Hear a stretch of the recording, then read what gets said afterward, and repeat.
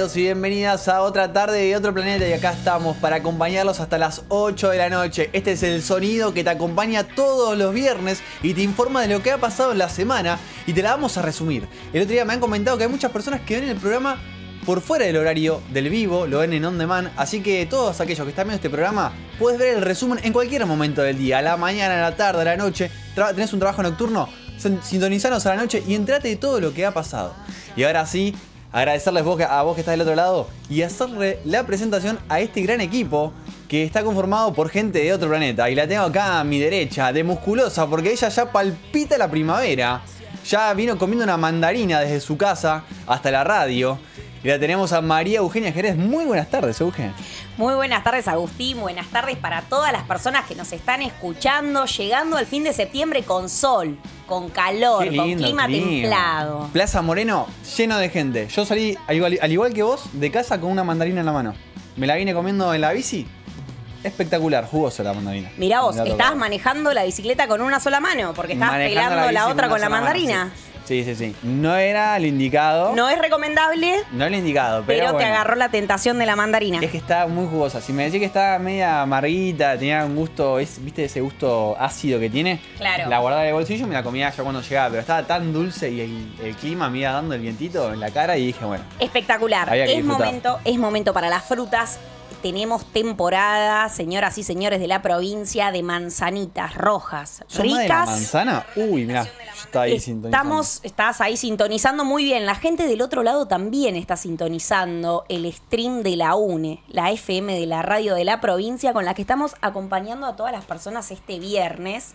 Como les decía, estamos en temporada de eh, manzanita roja. Quiero dar este dato. ¿Solamente manzanita roja? Ma- no, pero hay manzanitas rojas, chiquitas, baratas en precio y muy ricas. Cero arenosas. Así Bien. que le tiro el dato a la gente que nos está escuchando. Buena recomendación. Team Manzana, Team Mandarina y por allá tenemos más gente. Y tenemos en la operación de video a Emi Belevich que nos vuelve a acompañar otro viernes más en la operación. Así que buen viernes, Emi, para vos también, ¿eh? Ahí haciendo la señal del saludo. Y también en la operación te lo tenemos a nuestro gran... com- que- Ah, no te está el pluma Panco hoy. No tenemos a Tayel. Está no veía acá, me da el reflejo y no lo Están veo. los dos, Sí, están los plumita.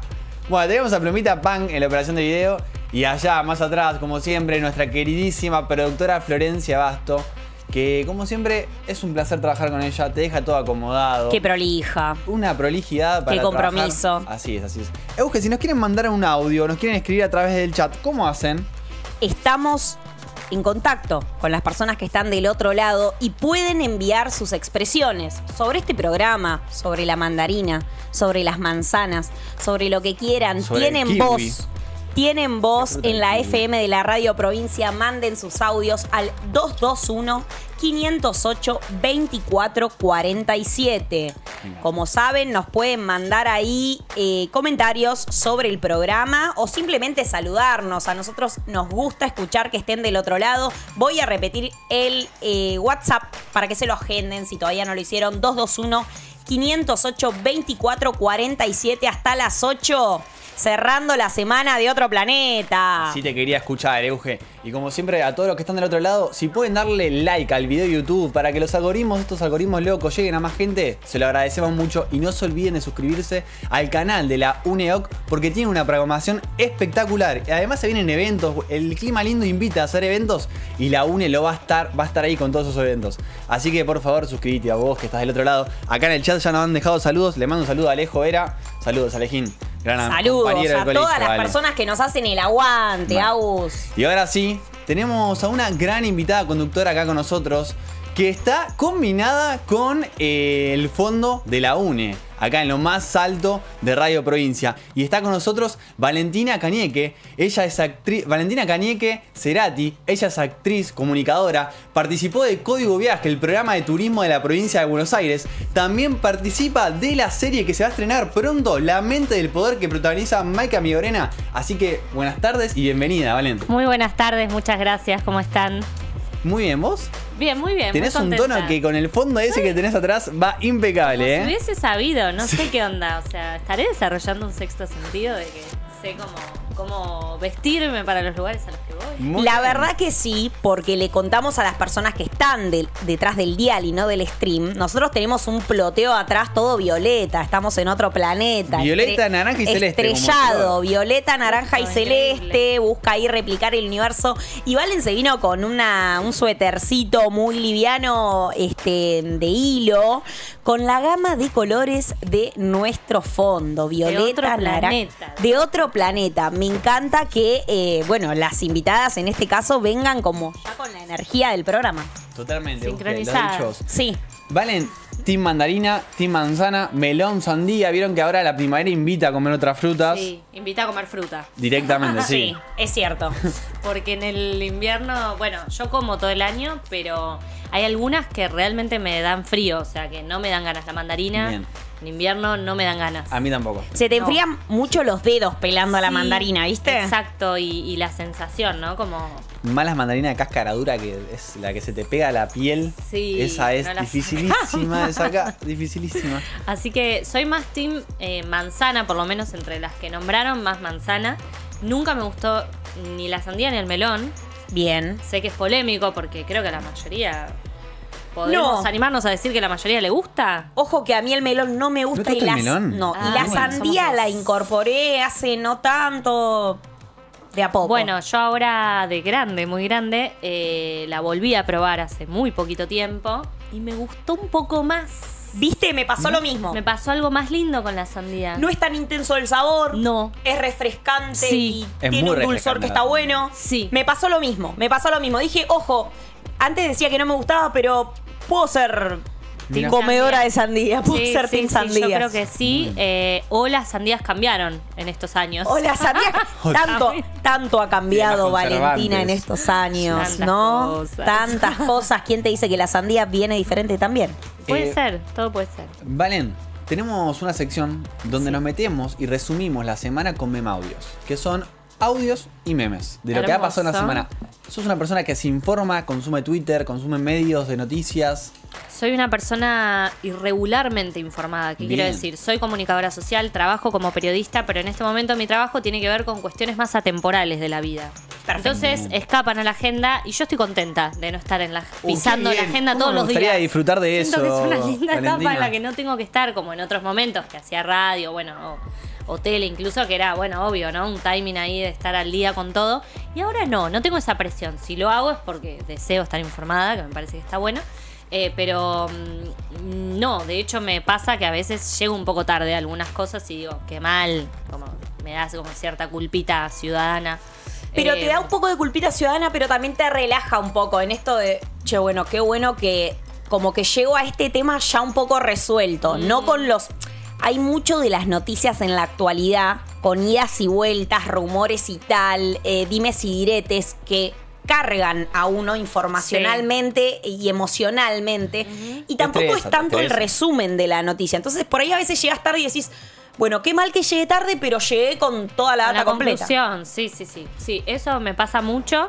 Me pasa también de estar charlando con, con amigos, con gente eh, que me digan, me hablen de un tema en el que yo todavía ni siquiera tengo el título en la cabeza. Y digo, esto no es digno de mi profesión, pero bueno, no importa, estoy orgullosa igual. Bien.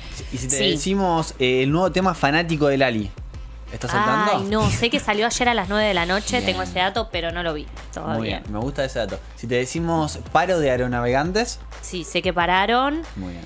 Eh, la semana pasada y esta semana también. Exacto. Claro. Muy bien, muy bien. Estamos, también es cierto que a favor de Valen, estamos como con conflictos extendidos en el tiempo, ¿no? Hay conflictos. Y que Claro. lamentablemente continuarán. Hay datos que siguen siendo agenda semanal, pero reiterados de las agendas semanales previas. Sí. Tema este paro de aeronavegantes, que viene ya desde la semana anterior, tema jubilados. Tres semanas seguidas lo estuvimos tratando. Y esta es la cuarta. Tema presupuesto universitario. Ya Sí. venimos laburando meses. eso. Sí. Claro. Así que hay algo cíclico en las Como de noticias. déjà vu, ¿no? Como esto Sí. ya me parece que pasó. Y hace unos años atrás también, ¿no? Como bueno. mm, Está volviendo a Así pasar. estamos, así estamos. Así que bueno, vamos a hacer un repaso de lo que ha pasado en la semana con estos memaudios. Y obviamente te invitamos a que participes, opines. Arriba de los memaudios también, no hay problema. Vos tenés libre micrófono acá, Sí, ¿eh? sí. Nosotros, conductora invitada, No completa, ¿eh? veces. Vía libre, vía libre. Vale. Bueno, Así que vamos a arrancar, como te mencionaba, el paro de los aeronavegantes que están manifestándose hace dos semanas por salarios dignos y también en contra de la privatización de aerolíneas argentinas. El miércoles hicieron una movilización al Congreso y hoy Adorni dijo que el gobierno va a decretar y habilitar la privatización mediante un decreto. Así que todo esto te lo resume en el siguiente meme audio. Esto es lo que más me gusta a mí, ahora tomar el mate viendo una película para machos. varias veces el paro, ¿no? ¿Ah, sí? Obviamente ¿Te sí. tocó? Me tocó en Paraguay o estando en Estados Unidos para volver para Buenos Aires. Sí. Y es una pena porque es una compañía aérea eh, reconocida a nivel mundial. Sí. Eh, lo que uno ve, lo que uno escucha, Chilabert. todas esas deudas, los robos, son terribles. Y el gran responsable de esto es Mauricio Macri. La pregunta es, ¿no hay una persona que, que por lo menos diga, eh, que genere credibilidad Creo que lo que habría que hacer con Chilaver es pasearlo por los colegios y por las universidades, en todo ahora que está el Mercosur, para que los chicos sepan cómo era el hombre hace 40.000 años, millones de años. Eh, Porque viene, viene primero Chilaver, después mono, después- Estamos los sindicatos de pilotos, de de cabina, el personal de tierra y personal exterior. Es una ramo salarial, un trato importante estamos en el cuello y hoy están tratando, producto de ese reclamo, eh, parte del gobierno y parte de la oposición legalista, eh, impulsa un proceso de privatización, todavía no sabemos en qué consiste, solamente con el fin de lastimar la aérea de escuchando recién era una nota de Mil- Milagros Superviven. presidente de la Nación va a firmar un decreto que va a declarar a la empresa Aerolíneas Argentinas sujeta a privatización, tal como lo habilita el artículo noveno de la ley 23.696, llamada Ley de Reforma del Estado. Como ustedes ya saben, Aerolíneas Argentinas arrastra un déficit crónico a raíz de las desastrosas gestiones que llevaron a cabo todos y cada uno de los gobiernos populistas trabajadores y que no le gusta se jode, se jode. Su de los trabajadores y que no le gusta se jode. Bueno, fue un repaso secuencial de cómo vinimos transitando esta semana, desde las declaraciones de Chilabert, que es una persona bastante ingrata en su país. Eh, recordemos que Chilabert se, eh, fue candidato allá, sacó el 0,2% de los votos. Y bueno, Chilabert se viene acá a dar cátedra de cómo se tendría que manejar aerolíneas argentinas. Una aerolíneas argentinas que está bastardeada y cobra uno de los peores sueldos de eh, las aerolíneas a nivel mundial. Hay que recordar esto: los trabajadores de aerolíneas están pidiendo sueldos dignos para todos y todas los empleados. Y después, bueno, hoy recién, recientemente hoy, eh, Adorni en la mañana en su conferencia matutina mencionó esto que el gobierno, que seguramente el decreto va a estar saliendo hoy por la noche, va a habilitar la privatización de aerolíneas argentinas. Sí, recordemos que Aerolíneas Argentinas había sido de las empresas que habían quedado fuera del paquete de empresas a privatizar que el Congreso votó y con ayuda de este, bloques como el radicalismo, eh, bueno, el, el PRO obviamente, eh, ha- habilitó ¿no? o, o sancionó a privatizar. Aerolíneas había quedado fuera. Pero bueno, como está dentro del marco, siento que un poco de la batalla cultural del presidente, ¿no? Sí. Porque sabemos que en términos de números el año pasado Aerolíneas no generó déficit. Sabemos que eh, Aerolíneas Argentinas es una compañía que se volvió a estatizar, ¿no? Hace bastantes años y que cumple un rol clave para nuestro país, no solo en el recorrido aéreo que hacen destinos que empresas privadas no cubren, sino también en la soberanía aérea que implica, ¿no? Que nuestro país tenga una aerolínea de banderas y, como sucedió en la pandemia, pueda repatriar a gente que había quedado este, en otros países o, por ejemplo, eh, como sucedió en la pandemia también, puedan traer vacunas eh, de otros países. Sí, ¿no? totalmente, Euge, lo que mencionás. Eh, es, es como medio. Siento que es medio como, bueno, matemos aerolíneas, ¿no? No, ¿Un poco? matar aerolíneas, a los jubilados, a las universidades nacionales. A ver, no solamente está dando la batalla con, est- está dando la batalla con todo el sector estatal. Eh, ese es así. Él viene a desmantelar el Estado. Es el topo que viene a destruir el Estado. Es el topo. Sí, a mí lo que me gustaría decir es que justo tuve conocidos y conocidas que viajaron la semana esta y la Sí. semana pasada.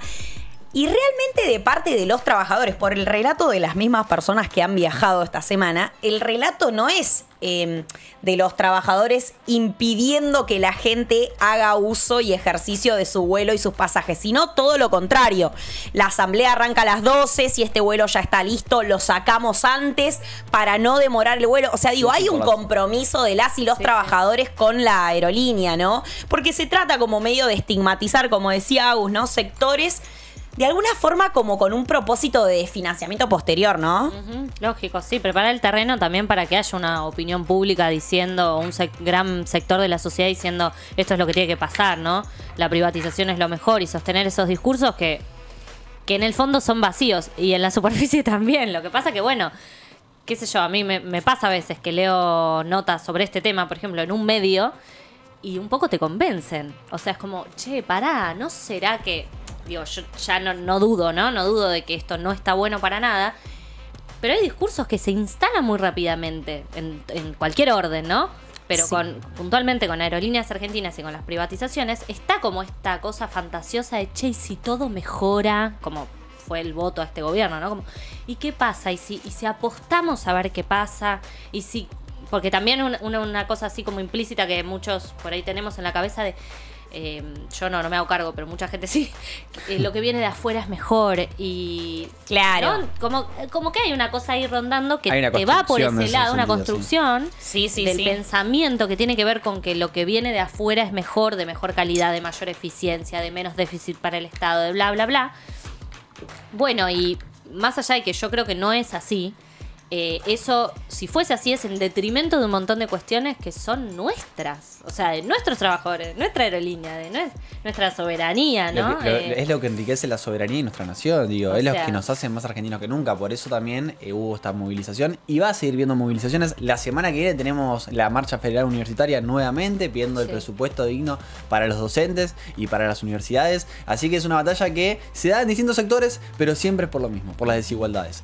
Así que tenemos más memaudios. ¿Te gustó este primer memaudio, mucho, Valen? mucho me atrapó. Tenemos más, tenemos Tenés más. que reírte también. Ah, es difícil, pero Es difícil. busca que te rías. es Listo, difícil porque todas las noticias son medio de bajón, pero algo te tiene que hacer reír. Este nuevo memaudio, como decía Agus, va a dar cuenta un poco de la situación de las universidades nacionales, ¿no? ¿Qué es lo que vienen atravesando las universidades nacionales y sus trabajadoras y trabajadoras, eh, trabajadores y trabajadoras, perdón, respecto a el presupuesto y el financiamiento que eh, el Poder Ejecutivo eh, quiere o no quiere otorgarles. Vamos al memaudio y lo conversamos. Hoy los docentes y no docentes tienen una pérdida del 55% de su, de su poder adquisitivo y la última oferta salarial de aumento fue de un 3%, de un 3% para este mes y de un 2% para el mes que viene. No lo puedes creer. No lo puedo creer. Eh, está pidiendo la, la universidad eh, que, que por favor no lo haga. Lo está pidiendo casi desesperadamente. El rector de la Universidad de Buenos Aires, Ricardo, buen día. ¿Qué tal? ¿Cómo le va? Oh, Eduardo, bueno, es, es, es una cosa muy triste, Eduardo, es una cosa muy triste. Teníamos esperanza de este financiamiento, en fin, eso podría este, ayudar con la, por la parte de las este, universidades. Y esto del veto, la verdad que creo es un golpe, es un golpe muy, muy fuerte, ¿no? ¡Cálmate! ¡No me calmo nada! Entonces te perjudicas. En la Casa Rosada lo que aseguran es que ya está firmado el veto.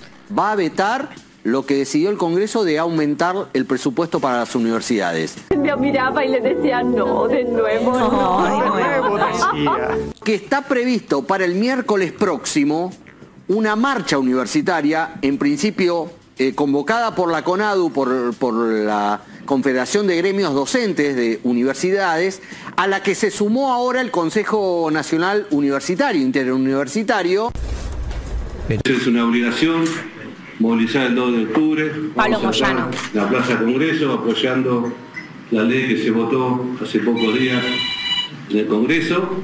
Aplaudan, chicos, aplaudan. Las universidades del país han anunciado que adhieren a la marcha que se va a hacer el próximo 2 de octubre si es que finalmente sale el veto que ya está anunciado por parte del gobierno al financiamiento universitario que se votó en el Congreso. Asco debería darte, asco, señores, debería darles. Eh, estamos hablando de lo mismo que empezamos a hablar a principio de año, el financiamiento del sistema universitario. Bueno, un poco esto es. ¿Viste esas cosas que funcionan? Vos no te enterás que no funcionan porque están funcionando. Pero ¿cuándo te das cuenta que no funcionan? Cuando las empiezan a desmantelar. Y ahí decís, che, pero si esto. Bueno, se ve que tan mal no funcionaban las universidades. Hay una estrategia del gobierno muy en el mismo sentido que aerolíneas argentinas, ¿no? Decir, che, las universidades, ¿qué hacen? No egresan a nadie, adoctrinan. Adoctrinan con egresados, como ya mencionamos, como Sturzenegger de las, de las universidades nacionales, pero hay como una estigmatización respecto a la tarea de las universidades para luego cortar el financiamiento. Nosotros repetimos desde esta radio también que, bueno, eh, la universidad es, es un ente autónomo, tiene también sus este, sistemas y mecanismos de eh, auditoría. No, no es cierto que la universidad despilfarra sus presupuestos en función de intereses propios, sino que, bueno, se decide este, eh, de forma consensuada en cada uno de los consejos eh, directivos de, de las universidades. Mencionabas esto de mantelar y se me vino a la cabeza TELAM, que es la Agencia Nacional de Noticias Estatal, que es eh, era Radio Provincia la utilizo un montón. todos los compañeros comunicadores y comunicadoras es una herramienta fundamental que cuando se nos fue, porque ahí teníamos eh, todas la- las redes, todos los, todas las noticias a nivel nacional, no solamente provincial, y te informabas de lo que pasa en Salta, de lo que está pasando en Santiago del Estero, lo que está pasando en Córdoba. Ahora, a raíz de esto, como que se achica esa circulación de información y, eh, como decía Euge, fue, una, fue un desmantelamiento del gobierno de Javier Milei. Valen, nosotros somos egresados de la universidad Sí, pública, vos. Claro, con total orgullo. Yo también, de la Universidad Nacional de La Plata. Eh, es doloroso, o sea, para mí como estudiante egresada de la universidad pública es doloroso porque no tendría ni que discutirse, o sea, es como que, digo, ¿qué estamos haciendo? O sea, y, y menos mal que tenemos un pueblo que no se queda callado, menos mal que tenemos un pueblo que se moviliza, menos mal que, que nada, hay una fuerza que se opone a estas atrocidades porque no puede ser, o sea, de- debería no poder pasar esto. Digo, eh, Claro. Países serios, con consensos básicos. Che, Claro. bueno, eh, en términos económicos, esto no se cede. Bueno, a Claro. nosotros nos cuesta lo del consenso básico, ¿no? Sí, sí, siento que, bueno, eh, incluso por encima de aerolíneas, no por, por decir una cosa es más importante que otra, pero estamos hablando de educación, tanto que, que- que- que también, digo, existe esta queja generalizada como lo que acá falta es educación. Bueno, ok, eh, la, la posibilidad está porque tenemos una universidad pública y una educación pública que funciona, que tal como dijeron, es de calidad y digo, más allá de no ser eh, trabajadora de la universidad pública ni economista, puedo decir con total convicción que no es un problema, o sea, a nivel económico financiero para un país que no creo que genere déficit. Digo, otra vez, como decían, eh, en aerolíneas pasa lo mismo, con el arte pasa lo mismo, con la cultura, ¿no? Con todo el, problema que está habiendo de, de financiamiento, que mm, se instala algo para, como decían, para habilitar después la, la censura, el decir, bueno, esto no sirve más en, en el Congreso, porque ojalá quedara todo como un discurso, como una frase, pero después eh, hay leyes o, vetos de leyes que hacen que nuestra realidad cambie por completo. Y, no, o sea, es un derecho nuestro. La educación pública es un derecho nuestro, por eso creo que todos deberíamos comprometernos a, luchar desde el lugar que sintamos y que, que creamos posible, eh, porque además también siento que son años y años de, de construir algo. eh, que muy poco tiempo como que se derrumba, ¿viste? Decís, Claro. che, ¿cuánto tarda después volver a, a construir esa legitimidad o, no sé, las universidades del conurbano, de otras provincias que, Claro. que fueron construidas? Decís, che, bueno, no es fácil construir una universidad, que la gente tome conocimiento de que puede y tiene la todo lo posibilidad. que sucede en esos espacios, ¿no? Académicos, digo, no es solo ni hablar de la cantidad de, de gente recibida, profesional que tenemos en nuestro país, que es súper valorada afuera, qué sé yo. Además de todo eso, son espacios donde circula la vida, básicamente, los lazos sociales, donde te encontrás con gente de todo tipo, donde aprendés del otro, donde aprendés de los docentes, de tus compañeros, de tus compañeras. Digo, son espacios eh, muy ricos a nivel social. eh, y de construcción de la ciudadanía, digo, y de nuestro pueblo y de identidad también. Entonces, no es solo que vamos a estudiar y nos recibimos, es mucho más. Y eso es lo que se tiene que también poner en valor, ¿no? Como con la cultura. Por eso, eh, a todos los que nos están escuchando del otro lado, invitarlos al miércoles a movilizar, miércoles 2 de octubre, por la Universidad Pública Gratuita. Imagínate que... va Moyano, así que si no vas vos. Ah, bueno, con la junta de la. CGT, sí. Claro, por eso. Que cuesta hacer digo. movilizar a la CGT más en este Mirá que va la CGT, no vas a ir vos, che, dale. Por favor. Sumate. Estoy para distender un poco con el siguiente memo audio, Euge.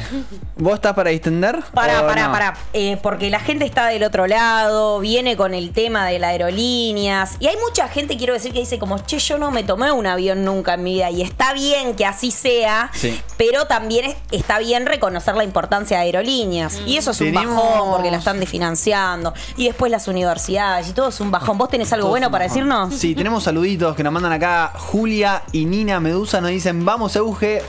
¿Cómo estás, Eugenia? Te preguntan, ¿estás bien, Euge? Estoy bien, chicas, sosteniendo la realidad, con los puños llenos de verdades, vinimos con Agus y con Valen hoy a cerrar la semana. Acá también nos manda un saludo Raúl para vos, Valen. Ay, Tenemos ahí saludos de todos lados. Y vos que estás del otro lado, dejanos tu mensajito acá en YouTube, acá abajo. Nos dejas hola. Con un hola ya estamos muy contentos, así te saludamos. Estamos muy contentos por las personas que nos están escuchando del otro lado y que demuestran que están del otro lado. Porque viste que a veces uno te escucha y decís, che, pero no fantasma. Claro, no, te vi, Valen, pero no mandé. No, sí, manden, manden el audio, Mandá sin manden el, miedo. el pulgarcito. Acá también Necesitamos tenemos más feedback. gente afuera viéndonos Sí. y escuchándonos. Tenemos a Franco, a compañeros de mi hermano Salvador, que también es estudiante de periodismo, que vinieron a escucharnos y a ver cómo es el mundo radial. Así que qué mejor Hermoso, experiencia de tener tres comunicadores sentados para que nos escuchen del otro lado. Acá nos están saludando a través de la espanten ventana. Los chicos, que no se espanten. no, sí, es lo más lindo que hay. Y si están ahora quienes se están formando para el periodismo, que no se pierdan de este memaudio. Porque si hay algo, pasan gobiernos radicales, peronistas, ahora estos que no sabemos ni qué partidos, bueno, pero hay algo que nos da vida, que nos da identidad, como decía Valentina, que nos, que nos recuerda de dónde ¿Quiénes venimos y hacia dónde vamos. Y esa es la farándula argentina, vieja. Nuestra farándula que supimos conseguir. Qué buena y en esa farándula. me pongo de pie. Está la señora Pampita Ardoaín, quien esta semana. Muy bien lo dijiste. Tú, lo dije muy bien, como que lo dije sin pensarlo, ¿eh? Esta semana tuvo unos conflictos que nos lo vamos a enterar con el siguiente memo audio. Pampita y Moritán no solo están separados, sino que No. van a divorciarse. ¿Se separó Pampita del marido de Pampita? Ahora parece que Pampita le dijo, agarrás las cosas y te vas como en la bifurcada, llévate el colchón, le dijo.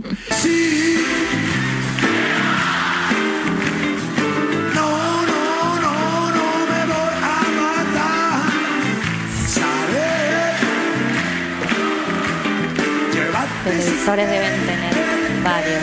¿no? Sí. Para que uno se lleve otro. Lo de- Creo que se pueden repartir bien los televisores. Creer que él, como él se vendió, que él era el dueño. de- se de- vendió. no era- Él se vendió. Sí, se vendió siempre así, por Dios. Me ocurrió que puedo ser un gran candidato para tu amiga Carolina. Uno nunca sabe.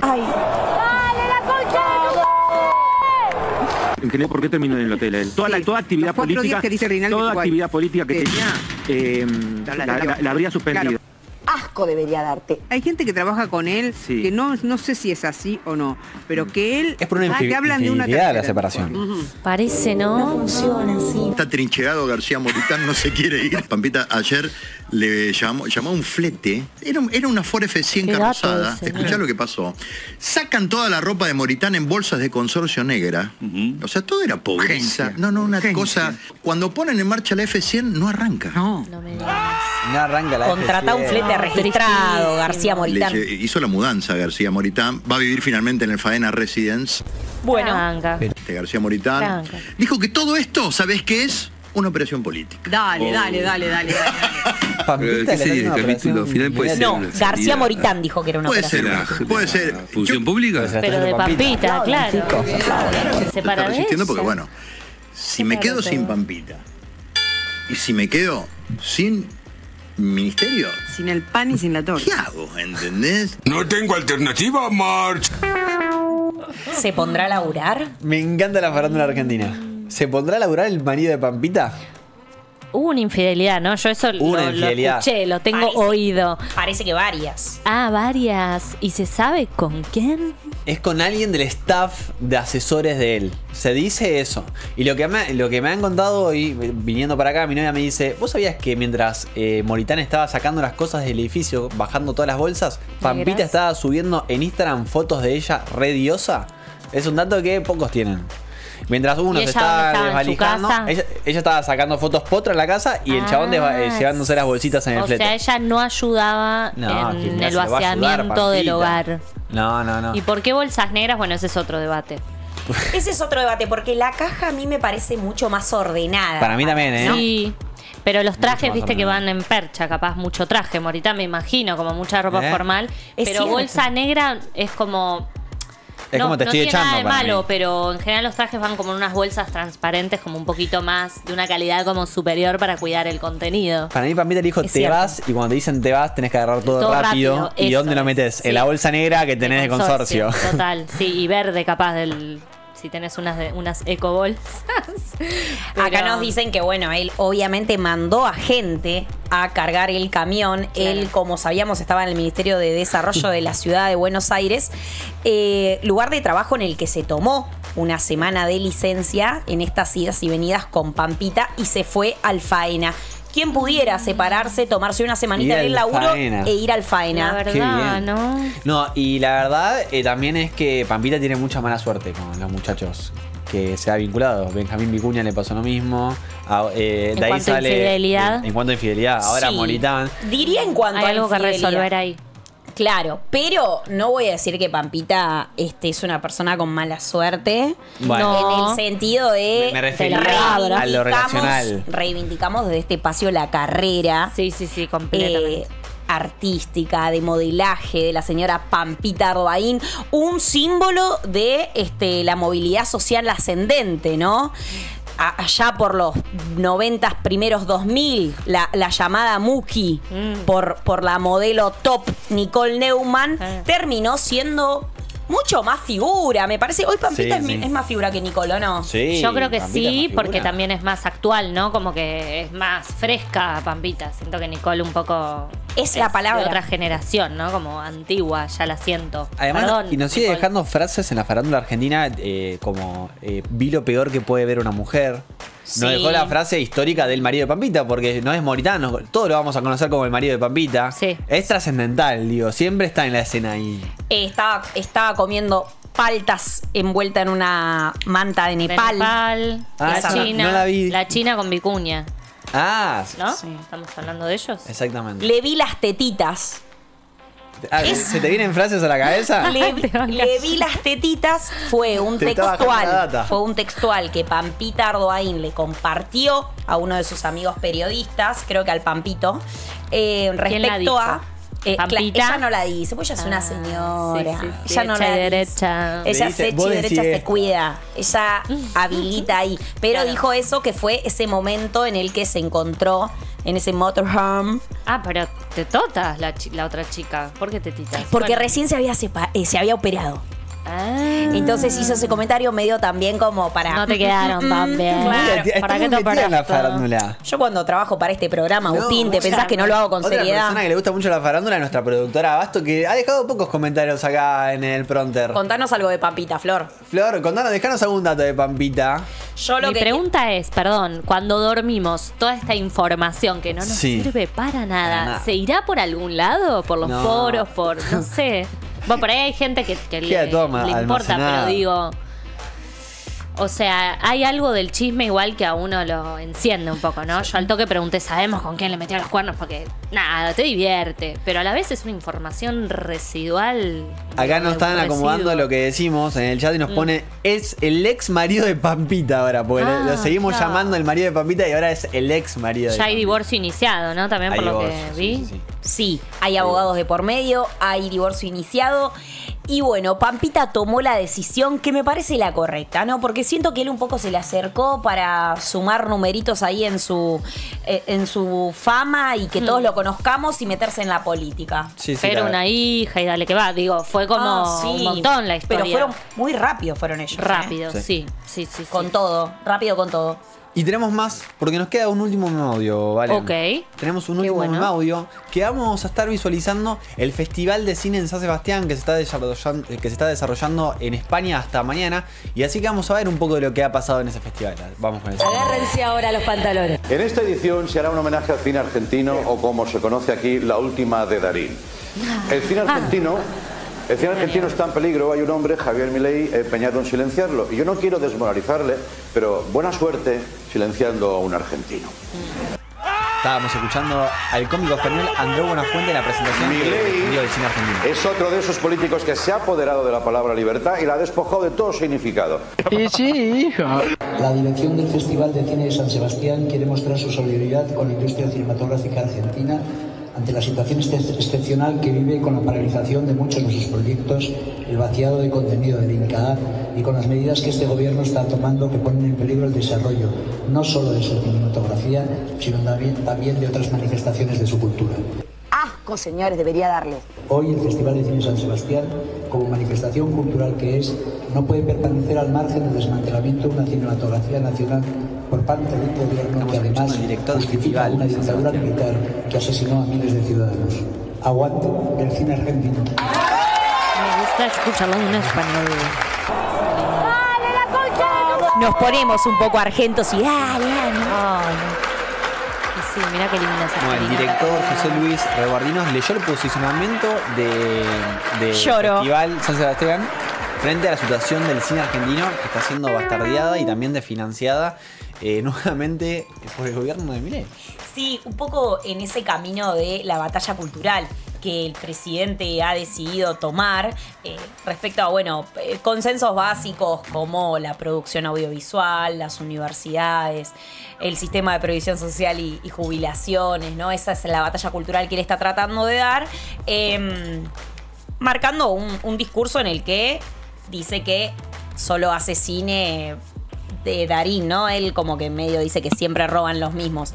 Es emocionante igual en una instancia así internacional ver gente expresándose en favor de nuestra industria porque eso también habla un poco del reconocimiento en esos lugares a nuestras producciones, ¿no? Totalmente. Sí, es que el cine argentino, como tantas cosas argentinas de nuestra industria, con nuestra impronta, eh, dan la vuelta al mundo y no es joda. O sea, los que estamos por ahí, eh, digo, yo siendo actriz, que estoy un, poco metida, eh, más que en otros ambientes quizás, eh, es increíble la valoración que tiene nuestro cine, las cosas que se han hecho, digo, más allá de los premios que, hemos ganado como de cine argentino y demás, hay un talento y, y- todos hablan en el mundo del cine argentino de lo eficiente que es, de cómo hacemos cosas maravillosas con dos mangos. Realmente, digo, es como, como un don, un talento que, tiene nuestro cine de hacer grandes cosas, grandes historias. Hay guionistas que del carajo, eh, directores, eh, actrices, actores que han viajado por el mundo haciendo todo tipo de, de pelis, de series. eh, digo, por algo es ese reconocimiento. Y es de las industrias, eh, o sea, de Latinoamérica, entiendo que es la más importante. Sí. Nuestros cines. eh, No solamente del cine, sino las producciones argentinas, Sí. porque vos, eh, bueno, si bien vas a participar, ya participaste de la serie eh, La mente del poder, que Sí. va a salir. ¿Va a salir la semana que viene? Sí, Bien, estamos ahí por cerquita. Flow y TNT. Y TNT, sí. Bien, ya vamos a estar hablando de eso en Sí, todo un rato, no. pero quiero mencionar, venís del ambiente cultural, Sí. donde está siendo desfinanciado, y no solamente lo saben defender los actores eh, y cineastas, productores argentinos, sino gente de España, de todo el mundo. Es algo a nivel internacional la defensa de la cultura eh, del cine en Argentina. Sí, porque eh, yendo en la misma línea de lo que venimos hablando, porque como bien dicen, tiene que ver con una batalla cultural y con algo que, que- que abarca un montón de esferas dentro de, de nuestra Argentina. Eh, hay muchas historias que necesitamos contar. Y una forma de contar masivamente es a través del cine, de la música, ni hablar, pero el cine, digo, es uno de los grandes instrumentos que tenemos como pueblo, como nación, de contar nuestras historias, de dejar un, eh, un registro audiovisual de, de quiénes somos hoy, quiénes fuimos, porque es hermoso también ponerse a ver un clásico del cine argentino de los años 80, por ejemplo, y decir, wow, mirá cómo, mirá en la que estábamos en ese momento. Plata dulce vi hace no mucho. También, bueno. súper del contexto, ¿no? Exacto. Eh, y Cómo eso se que- repiten las cosas también. Sí, y eso que dice Valen, que es recontra cierto lo de la diversidad de narrativas, ¿no? Porque está la película para la plataforma, está la serie de, de Suar, pero bueno, también hay películas de terror, no sé, se me viene acecha la maldad porque es como medio la mainstream, sí. pero, pero digo, eh, hay muchas producciones que cuentan como dramas locales e historias locales que tienen voz únicamente en la construcción de ese cine, ¿no? No va a venir una plataforma a pagar eh, para que contemos una historia como, no sé, la historia oficial se me Sí, viene, ¿no? Es algo totalmente. que tenemos que producir nosotros.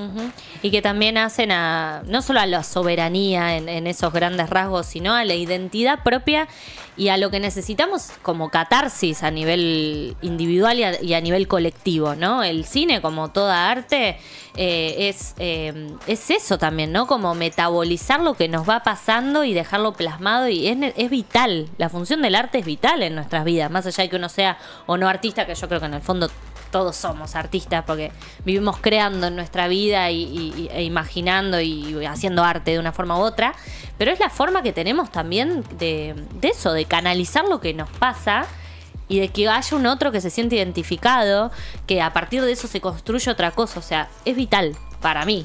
a mi entender es vital y no puede ser que estemos también es planteando. fundamental el arte y la cultura eh, del cine argentino. Eh, me había quedado pensando que dijiste que hacer- cuando se echa la maldad es mainstream, ¿no? y no es se, ha, se ha convertido, ¿no? Pero digo, por su popularidad, pero la te película hablo como el viene- meme, si querés. Pero no es del mainstream. No, es de, no, no. viene, viene de- es, una peli independiente. es una peli independiente. Es una peli independiente, sí, pero no es del pero mainstream. Se Escaló. Escaló, gracias, Valen. Eh, Escaló, eso decía, ¿no? Sí. No, Ah, no, bueno. no, todo bien con la película. A mí me una encantó. dimensión eh, mucho más grande que la de otras películas independientes que por no estar eh, tan premiadas en festivales y demás eh, no adquieren tanta visualización. Claro. O bueno, cuando Acecha está en, está en Netflix, digo, como una, Está en una pantalla plataforma, fuerte. claro. Pero eh, comenzó siendo y es una película independiente. De hecho, el director, cuando ganó su premio a mejor película hace poco en los premios Sur, eh, dijo: No. O sea, este éxito viene después de como 10, creo que dijo, si no me equivoco, 10 películas que filmó que no las vio ni la madre casi. Claro. La, la anterior quizás sí tuvo un poquito más de, pero digo, eh, de remarla y remarla y no deja de ser esta peli, una peli independiente con, imagino, un bajo presupuesto. Eh, pero que se logró, porque también es eso, el cine argentino, como mencionaba antes, se, se valora en ese sentido de, che, con dos mangos hacen cosas increíbles, porque a veces no es Hollywood. Bueno. Eh, necesitas eh, una, dos locaciones, dos, tres buenos actores, por decirte, y una buena historia para contar. El guion, gente. Y lo ingenioso El del guion. Y ya. o Hace sea, poco se estrenó Porno y helado 2. Sí, la que dijeron viendo. que el presupuesto fue muy acotado Mm, para otras no producciones. ¿No la empezaste? Bueno, es espectacular lo que hacen con un bajo presupuesto y lo hacen acotado, lo- lo- todo el desarrollo y el guion de Piroyaski para felicitarlo. Bien. Te- vale, ¿te gusta meterte eso del tema de los guiones? Sí, de hecho ahora, cuando, bueno, ya hablaremos más de la mente del poder, Sí. pero estuve trabajando como colaboradora autoral Ah, bueno, con el no- equipo de a guionistas. sí. Muy bueno. Está muy bueno. Eh, bueno, vamos a un bloquecito porque ya son casi las 7 de la tarde. Ah, no, en breve viene nuestra columnista de redes y tecnología a contarnos un poco de por qué se prohibió Twitter en Brasil. Así que vamos a tener acá sentada con nosotros a Mora Vázquez en un ratito. Quédate, no te vayas, quédate sentado, andate, andate a hacer el mate y volvé para seguir escuchando de otro planeta.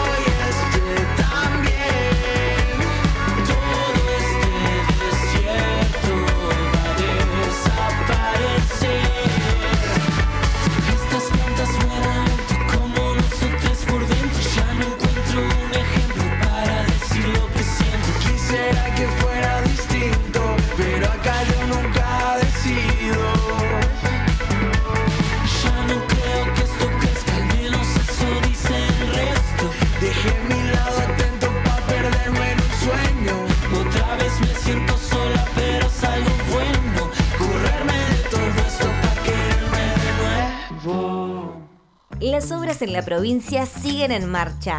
Finalizamos un nuevo centro de atención primaria en Paraje Pavón en General Lavalle. Buenos Aires crece. Gobierno de la provincia de Buenos Aires. Compartimos todo en Facebook. Arroba la Uni OK. Médico, enfermero, dentista y oculista. Centro de salud. En tu barrio, en tu provincia, para vos y tu familia. Centro de salud. Sea tuyo bien armado, preparado y equipado. Centro de la provincia de Buenos Aires ya tenemos más de 150 nuevos centros de salud. Gobierno de la provincia de Buenos Aires. Get ready with me para empezar el día junto a la UNE. Me levanto, me hago el skinker y a las 8 entro al streaming al toque porque arranca cuenta regresiva con Rocío y Nacho. Son unos copados bárbaros porque te cuentan qué onda y cómo va todo antes de salir de casa.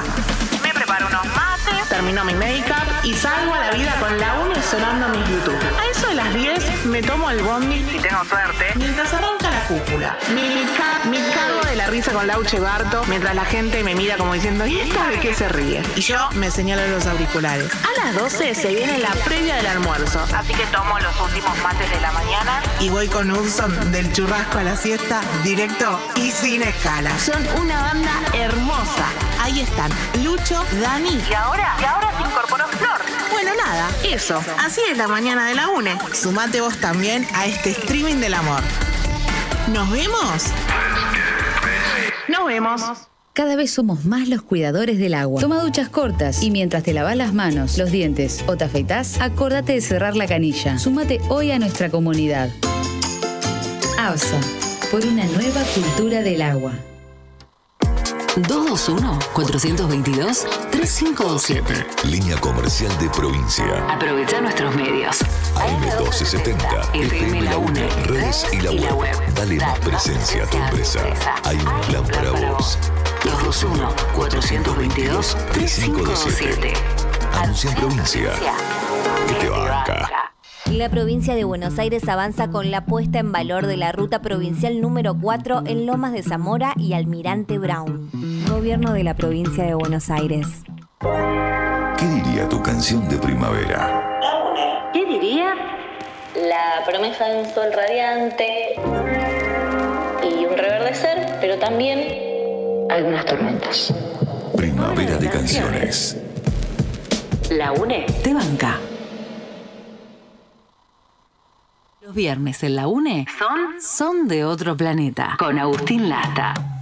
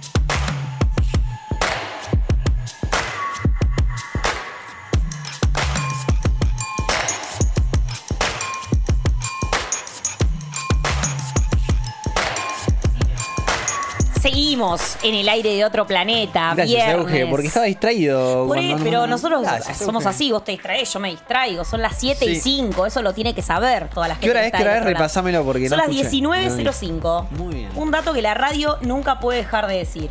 Menos mal. Y ahora ya tenemos como con nosotros, como les había anticipado, Amora Vázquez, nuestra columnista de tecnologías y redes sociales, que nos va a contar un poco de lo que ha pasado en Brasil. Pero antes mencionarles que vino con hojas escritas a mano. Que dije, Mora nos va a traer la computadora. No, nos trajo las hojas. Que la verdad, hermosos apuntes. Si querés, no, sé- no sé si podemos poncharlo en Qué la pantalla. Qué- una prolijidad. Datos, Qué linda letra, números. Empiezo bien y después, bueno, buenas gente, ¿cómo están? No dije, no saludé, equipo, ¿cómo andan? ¿Cómo estás? Por acá muy bien andamos. Bueno, me alegro. Bien, yo también, muy bien, contenta de, del tema de hoy porque la verdad es que me resulta un tema muy interesante. La verdad es que sí, es gracioso. Soy la, la columnista de cultura digital y escribo más. Pero bueno, tengo todavía. Paradójico. Sí, es como la lectura. La lectura también me gusta mucho más eh, papel que digital. Hay cosas, viste, que uno siente que las retiene más así. Sí, me pasa lo mismo. sí. Siento que Pero retengo- diario no compran, ¿o sí? No, No, pero no. en la transcripción retengo mucho más que en la lectura o subrayando un PDF. Totalmente de acuerdo. Bien, el tema que tenemos para hoy es Brasil versus ex, ex Twitter.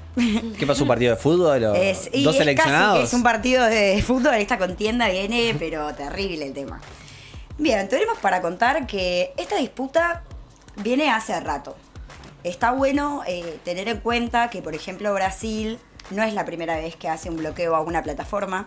Eh, ya sucedió allá por el 2014-2015 con WhatsApp, que estuvo bloqueado unas 12 horas. ¿Esto por qué? Porque eh, estaban investigando cuestiones sobre el narcotráfico y WhatsApp se estaba negando a brindar información que era súper importante. Se pasó ese bloqueo. De hecho, después, bueno, eh, a partir de esto, en el 2014 se genera el Marco Civil de Internet, que es una ley en Brasil que está buenísima, que básicamente es eh, para poder tener la posibilidad de que a partir de órdenes judiciales puedan intimar a los dueños de las plataformas, a los proveedores, a que brinden información en caso de ser necesario. Bien, entonces... Recordamos, perdón, Moni, Sí. que em, las figuras, estas plataformas, tienen eh, es- esta figura como de intermediarios, Sí. ¿no? Como que los lava de toda culpa y responsabilidad respecto a qué pasa con los contenidos que, que circulan en sus plataformas. Totalmente, las regulaciones en general son un tema de disputa muy grande, eh, sobre todo porque, bueno, como sabemos, están situadas eh, en otros países como Estados Unidos o como lo puede ser China. Entonces, la verdad que apelar legalmente es, por ejemplo, un bardo, por decirlo en criollo, porque tendrías que ir hasta Estados Unidos, en las oficinas de allá. Eh, ha habido varios casos, me acuerdo el del jugador de fútbol, que ahora no me sale el nombre, pero que había subido esta historia poniéndole negro a un amigo, eh, le bajaron la historia. Digo, estas cuestiones, bueno, uno piensa, ¿y a dónde apela uno a estas cuestiones, no? Volviendo a la situación Brasil, eh, esto, bueno, como les decía recién, eh, no surge de la nada. Esto ya empezó entre 2020 y 2023. El Tribunal Supremo Federal de Brasil ya venía haciendo, tenía como unas líneas, inició tres investigaciones penales distintas, tres líneas diferentes de, análisis. La primera vinculada con eh, la investigación a la desinformación, a las noticias falsas, a las fake news. Eh, la segunda línea tenía que ver con la investigación de grupos organizados e individuos que manipulan el discurso y en este sentido su participación en plataformas digitales, allá conocidas como milicias digitales. Ay, qué lindo acento. Suena muy lindo. Eh, son las. las- Pero desparrama mierda por internet. Mierdiña. Totalmente. Milicias digitales. Milicias digitales, que son estas milicias digitales. Y la tercera línea tenía que ver con los individuos y grupos involucrados al ataque en el Congreso en el 2023 en Brasil. Vamos a contar un poco, bueno, ¿qué son estas milicias? Estas milicias son digitales, son de la ultraderecha. Eh, básicamente son organiz- se organizan vía plataformas como por ejemplo X y que lo que tiene de similar, por ejemplo, en su momento con lo que pasó con 4chan y en Estados Unidos con Donald Trump, es que se organizan vía red, vía el territorio digital, para luego tomar acciones reales en el territorio público. Eh, estas eh, milicias digitales, bueno, eh, sin ir más lejos, podemos mencionar que estuvo involucrada una persona de nuestro país también en estas investigaciones, quien es el señor Fernando Cerimedo, que es asesor legal de Javier Milei y participó en la campaña de la mano de la libertad de avanza en elecciones. Esta persona estuvo involucrada, eh, digamos, lo que él hizo fue toda una campaña del miedo a partir de fake news. eh, digamos, con el hashtag eh, Brasil fue robado, hizo un video en YouTube con un montón de información falsa acusando fraude electoral cuando gana en el 2022 para el 2023 Lula. Eh, entonces, bueno, tenemos personas involucradas que no nos sorprende realmente porque el señor presidente Javier Milei lo vemos cada tomando mate con Elon Musk prácticamente todas las semanas. Y, y también reproduciendo fake news. Totalmente, bueno, eh, pasó con lo de Córdoba, sin ir más lejos ayer. Sí. Tirando datos respecto a la gente que él creía involucrada, que el Ministerio Público de Córdoba decir. desmintió. Sí, terrible, la verdad. Y eso no es nuevo, todo el tiempo, todo el tiempo está replicando cosas completamente fuera de lugar. Eh, y mentiras, por sobre todas las cosas. Tiene sentido entonces que el asesor legal sea Cerimedo, como decías, investigado en Brasil. por. Totalmente. Eh, él estaba siendo investigado porque en este, eh, en YouTube, en este video y en estos hashtags que él impulsa, de alguna manera los bolsonaristas se agarraron de un montón de las cosas que él decía para promover el ataque al Congreso el 8 de enero del 2023 en Brasilia. Que, eh, bueno, Flor, si, eh, si quiere pasar, tengo un pequeño videíto de lo que fue el ataque al Congreso. Esto es de público conocimiento, pero bueno, un breve recordatorio de, de lo que fue. Dale, vamos, vamos a Claro, era parte de la derecha que no reconocía la victoria de Lula, ¿no? No, totalmente. Se acusaba de fraude electoral. Y esto, bueno, es las imágenes de la gente. Claro, y los argumentos tomados de, de- de En esto gran que parte contás, también claro, de, de fake news, en, la- Exactamente. en gran porcentaje, ¿no? Sí. Bueno, eso es solo como una breve imagen. Podemos ver acá las manifestaciones, la gente entrando a los edificios públicos, a las oficinas, eh, la policía en un principio no pudiendo contener la situación. eh, Movilizaciones convocadas a través de la red social de Twitter. Sí. Eh, mucha de esta gente se iba diciendo, bueno, nos encontramos entre puntos, vamos a romper, básicamente era romper. No, Sí. La consigna era eh, vandalizar el estado de, de sí, se encuentra. bajo la consigna de fraude electoral. Exacto. que para, eh, digamos, eh, algo que ponga más en juego a la democracia, eh, es, estas milicias justamente eh, son lo que promueven son la desinformación, la fake news, cuestionar el sistema democrático. Eh, de hecho, se acusó de, un intento de golpe de Estado, sin ir más lejos. Eh, entonces, bueno, después, a partir de este suceso, es que empieza toda la contienda por la investigación de estas cuentas en ex que promovían este tipo de información que el, el- Tribunal Supremo Federal de Brasil, liderado por el juez Alexandre de Moraes, nombre que vamos a haber escuchado mucho en el último tiempo, porque también podemos pensar en esta disputa con muchos titulares. Es, tenemos dos personajes muy picantes, muy importantes, como lo son Alexandre de Moraes y Elon Musk, y también lo podemos pensar realmente como una disputa entre las plataformas digitales y los estados soberanos democráticos, eh, que es un tema que viene eh, en el último tiempo más que nunca, digamos, esto yo otras veces que he venido a charlar hablamos mucho sobre esta cuestión de, de las regulaciones, de las normativas, las distintas posturas a nivel geopolítico, de China, de Estados Unidos, de la Unión Europea.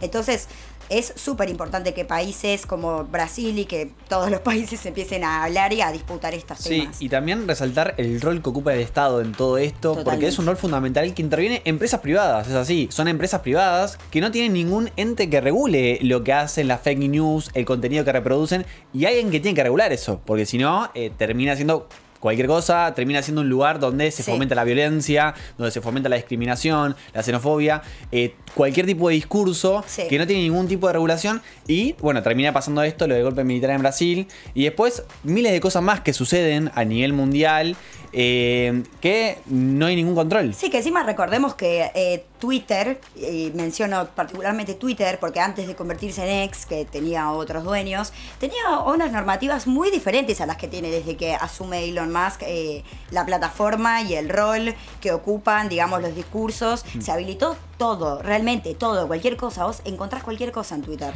Y no hay censura, no hay, No, no hay no hay. normativas eh, firmes o sólidas para, para Prácticamente- poner un marco de, de contención de esto sí, esto no. No, se puede todo, básicamente Claro. es el libre albedrío total.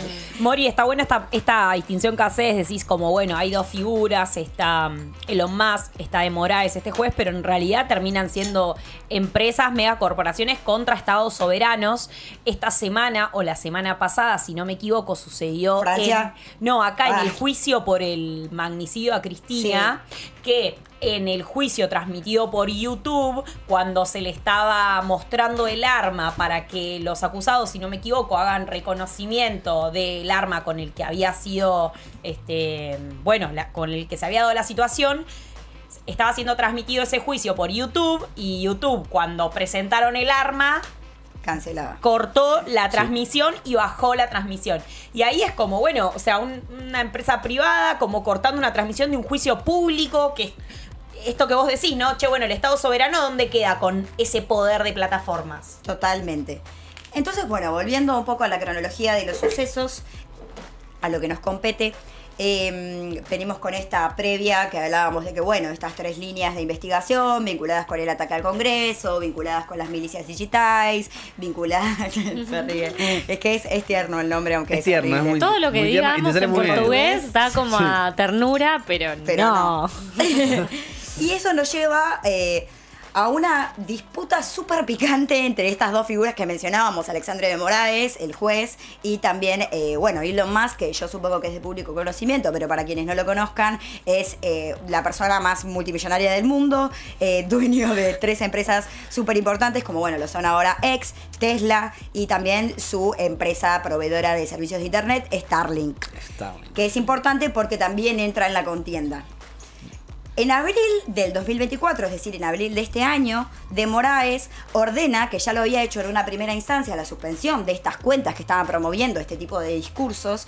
Y primero Musk accede, no muy contento, pero luego se le ordena a Musk cerrar estas cuentas de extrema derecha, bloquearlas, a lo que eh, básicamente se niega rotundamente y acá empieza una serie de, de disputa que es, es, es muy loca porque son tuitardos. Literalmente, eh, él, su, su contienda es a, a partir de los tuitardos. La de Se Elon maneja a Musk, través de. Twitter. Total. Igual que el presidente también. Sí, que yo le digo Muy diciendo Twitter. serio es todo, ex, ¿no? pero la verdad que Por en, en el Es colectivo Twitter. popular e Sí, imaginario de la gente es Twitter. Eh, Entonces, bueno, Musk se niega y lo que hace es algo completamente terrible que vos eh, lo mencionabas también, que es la destitución de la representante legal de X en Brasil y cierra las oficinas de X en Brasil. Esto es muy importante, ¿por qué? Porque la legislación brasileña exige que las empresas extranjeras tengan una representación legal en el país. Esto es muy importante. Si está, lo, lo impone la legislación del país, entonces a partir de esto que sucede, de Moraes da, le da un plazo para que esto se restituya, no se cumple, y a partir de esto es que se desencadena la prohibición de la plataforma, efectivamente. O sea, venimos como con una disputa que encima es importante mencionar que eh, las contestaciones, las contestaciones que hace Musk no son a través del canal y de mecanismos eh, judiciales, son a través de Twitter. Eso, eh, li- tenemos, de hecho... Qué fanático. sí, hay una imagen que tenemos también eh, sobre uno de los tweets para que lo podamos ver, eh, de las contestaciones de, de Musk. Pero y eso no, no, no tiene ninguna validez legal, claramente. Eh, pero, pero fue una herramienta también para el- Fue una para herramienta para la justicia, decisión para, exactamente, fue una acá. herramienta para la justicia. Bueno, y podemos ver que dice, eh, es una respuesta a un tuit de alguien diciendo por qué si hay un montón de plataformas en Brasil, además de X, por qué se decide agarrarse en la disputa contra X. Y tenemos a Elon Musk que dice, other platforms in Brazil are silently complying with the illegal political censorship demands of dictator de Voldemort. Básicamente, bueno, eh, se están quejando de la política ilegal y encima del dictador Voldemort. O sea, esto está hablando de Alexandre de Moraes que lo compara con Voldemort villano de Harry Potter. O sea, encima banalizando, payaseando, burlándose completamente de la situación. Eh, Claro, con ese un juez de la Corte Suprema de Brasil.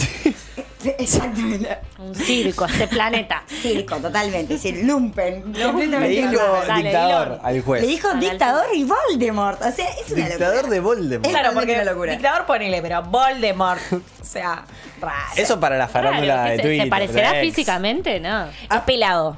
Es pelado. Es pelado, sí, es lo pelado. único. Pero Voldemort. Pero no es parecido. No, y con ¿tiene la- la barba hasta el piso? la ah, no. túnica no, no. Ese que tiene eso nariz. Dumbledore. Van a matar los fans de Harry Potter. El nombre de Harry Potter. Voldemort, sí, sí. Feo que era Voldemort. Y cuestión que a partir de esto, que se desencadena la previsión de la plataforma, De Moraes decide bloquear, porque además él, eh, Elon Musk, venía instigando también por Twitter, eh, berretineando lo que se dice, eh, diciendo como, bueno, si la van a bloquear, entonces instigando a la gente a usar VPNs, otra cosa que no se olvide, porque vamos a mencionar, es muy importante, usando VPNs para evadir, digamos, la localización. Las VPNs, entre otras cosas, se utilizan también, por ejemplo, para que tu ubicación se disfrace como la que está en otro país. Entonces, de esta manera, si Twitter estaba bloqueado en Brasil, mediante el uso de una VPN vos podrías acceder fingiendo que estás en Argentina y entrando de todas maneras. Entonces, también acá lo que tenemos, eh, lo que sucede es, bueno, promoviendo esto y también promoviendo, diciendo que la gente que tenga el servicio de Starlink igual va a poder entrar mediante Starlink a X. O sea, pasando por arriba completamente de, Cualquier de autoridad. la justicia La brasileña. Corte Suprema, el Tribunal Supremo Federal de Brasil. Es una locura. Entonces, ¿qué hace de Moraes? De Moraes lo que hace es bloquear y congelar las cuentas financieras del servicio de Internet por satélite Starlink y de X. Qué envidia, che, un juez que la activa, loco. De Qué Moraes fue envidia a los fondo. brasileños. De Moraes fue ¿eh? completamente a fondo. Por todo fue. Completamente a fondo. Y sin ir más lejos, el bloqueo que efectivamente después sucede, porque estamos hablando de que todas estas evasiones que viene haciendo la justicia lo que generan son multas por evasión de la solicitud de la suspensión de las cuentas. Entonces, lo que se fue generando fue una multa de 3,29 millones de dólares. Para Elon Musk, que no es absolutamente nada. Es un vuelto. Estamos hablando que es la persona con más plata del mundo. Realmente le, le- le significa un vuelto. Entonces, a partir de esto es que eh, efectivamente el 30 de agosto se hace efectivo el bloqueo del uso de X en Brasil. Si yo entro a Twitter de Brasil, si estoy en Brasil y entro a Twitter desde mi VPN de Brasil, no puedo. No, ahora vamos a ver por qué. Ah, Es- bien. ahora vamos a ver por qué no Adelante. podés. ¿Y hasta cuándo se sabe? ¿Hay un plazo? No, por ahora no tenía plazo. Eh, digamos, el tema era que, bueno, empezaran a, a respetar un poco lo que estaba pasando, ¿no? Sin ir más lejos. Eh, bueno, de hecho, podemos ver eh, una breve entrevista que se le hace a Lula unos días antes de que se haga efectivo el bloqueo. Em, que, bueno, obviamente está hablando en brazuca, pero eh, se le entiende perfectamente, Pero- la verdad. Vamos a hacer la traducción en vivo. Sí. Todo e qualquer cidadão de qualquer parte do mundo que tem investimento no Brasil está subordinado à Constituição brasileira e às leis brasileiras. Cualquier ciudadano del mundo tiene que regirse mediante la Constitución y las leyes de Brasil. Si la Suprema Corte toma una decisión, un ciudadano tiene que cumplir con esto. No puede tomar otra actitud tem completamente desafiante. ¿Por qué? Porque tener mucho dinero no te hace ser eh, una persona eximida de las leyes de Brasil. Ele não pode ficar ofendendo os presidentes, ofendendo os Ofendiendo a los deputados, presidentes, Senado, ofendiendo a los ofendendo diputados, ofendiendo al Senado, ofendiendo a la. Cámara, la Suprema Corte. ¿Quién se piensa que es? Dice Lula. ¿Quién se piensa que es? Y algo que resume básicamente toda esta entrevista, que si querés, Flor, eh, la podemos eh, ver en otra imagen, que es eh, un tweet que resume básicamente lo que dice Lula. eh, que tiene que ver con que, bueno, esto que veníamos mencionando, de quién carajo se cree que es este tipo, que traducido abajo, todo ciudadano que invierte en Brasil está sujeto a la legislación y a la constitución Pero claro. brasileñas. Solo porque tenga dinero no significa que pueda hacer lo que quiera. Debe aceptar las reglas del país y respetar la decisión de la Corte Suprema. Este no es un país con complejo de perro callejero. Es muy claro lo que dice y también está bueno aclarar, porque a veces uno en las idas y vueltas de información, viste, bueno, eh, la Corte Suprema lo que estaba pidiendo era el bloqueo y la información de determinados usuarios, que eran pocos, investigados en una investigación, valga la redundancia, penal. Penal y que O encima sea- estaba llevándola adelante la Policía Federal Brasilera también. Nada tiene que ver con eh, la libertad de expresión o la Ahora censura. vamos a hablar de la libertad de expresión porque ese tema es muy interesante alrededor de todo el caso y ahí vienen las VPN, viene Starlink, es- se unen todos los caminos en la libertad de expresión. Antes de leerle un comentario que nos ponen acá en el chat de YouTube, vos que estás del otro lado, dejaron su comentario. Nos ponen Lali y Lula la próxima fórmula para Latinoamérica. ¿no? Me encanta también Sí, una picante Ali con el videoclip que sacó y el tema que sacó. Fanático, muy bueno, los invito a verlo porque es muy divertido realmente. Entonces aquí lo que nos lleva es a, si bien hay una, hubo en estos días, pasaron, hubo novedades respecto a la cronología esta que venimos haciendo de lo que sucedió, es importante que hablemos de la libertad de expresión. Es muy importante porque ese es el discurso que usan del lado de la ultraderecha justamente para deslegitimar todo lo que viene pasando. Y excusándose en la censura, en la libertad de expresión, entre otras cosas. Eh, bueno, tenemos que hablar que la, la libertad de expresión no es un derecho absoluto. La libertad de expresión debe ser ponderada con otros principios también. Estamos hablando de la protección del Estado democrático, de la protección de la legitimidad de las elecciones y en Brasil, como en un montón de lugares, de la discriminación en todas sus formas. Que era parte, o sea, estos tweets sin ir más lejos, estaban justamente promoviendo todas estas cosas. Era un atentado a la democracia, hablando de elecciones fraudulentas, haciendo una instigación a un golpe de Estado, como lo fue en el ataque al Congreso, que ya vimos. Entonces, estamos hablando de la libertad de expresión y además hay que entender que una plataforma como X, Igual es acá el tema que a mí me interesa mucho. Hoy eh, hay, los invito a ver eh, un conversatorio que está en la página que se llama Observacom, si no me equivoco. Eh, Observacom, que es un espacio en el que se hablan un montón de cuestiones vinculadas con la temática legal de estos casos, que es muy interesante porque montones de personas de distintos países estaban charlando. Hay algo que se llama la, la tesis tripartita, que es como para analizar, que son tres estándares distintos para analizar el caso. La legalidad, el fin legítimo y la proporcionalidad. A mí me interesa mucho que hablemos de la proporcionalidad porque el debate se da en si es proporcional la medida de bloqueo de una aplicación. ¿Por qué es importante hablar del tema? Estamos hablando de un país eh, que es el quinto, el- un país con el quinto mayor número de usuarios en Internet, con 22 millones de usuarios de X ahí en Brasil. O sea, 22 millones de usuarios. Y vive mucha locura. gente en Brasil. Es una locura, vive mucha gente en Brasil. Entonces, es Tiene muy que importante ver que hablemos de esto también, porque, bueno, hasta cierto punto, la discusión que se abre también es que X es, como yo muchas veces he mencionado, eh, la famosa calle digital, es un espacio de disputa donde se genera sentido común, donde se ponen en debate un montón de cosas, y que es, en primera instancia, de las plataformas en las que más se habla y se discute realmente de política. Eh, mucho más que Instagram, mucho más que Facebook, es la plataforma donde los políticos ah, eh, se expresan, donde la gente se expresa, sin ir más lejos, estamos hablando en nuestro propio país de un gobierno que por primera vez hace uso de las plataformas y de la comunicación digital eh, más que Twitter. nunca. Sí. Claro, en todos, en todos los países termina siendo como un canal oficial Twitter. Nosotros tenemos la particularidad de que, bueno, eh, Javier Milei, nuestro presidente, lo hace como más oficial todavía. Eh, pero, pero todos los países, las organizaciones, qué sé yo, pienso en la FIFA, la Organización Mundial de la Salud. O sea, Twitter ter- termina siendo un canal oficial de, De las organizaciones claro. de comunicados. Totalmente, porque lo son las plataformas digitales en el día Sí. de hoy, es un medio de comunicación masivo. Porque Son es a través del cual la gente en general se informa también. De hecho, o sea, no se puede negar nunca. eso ni, ni podemos corrernos de esa realidad.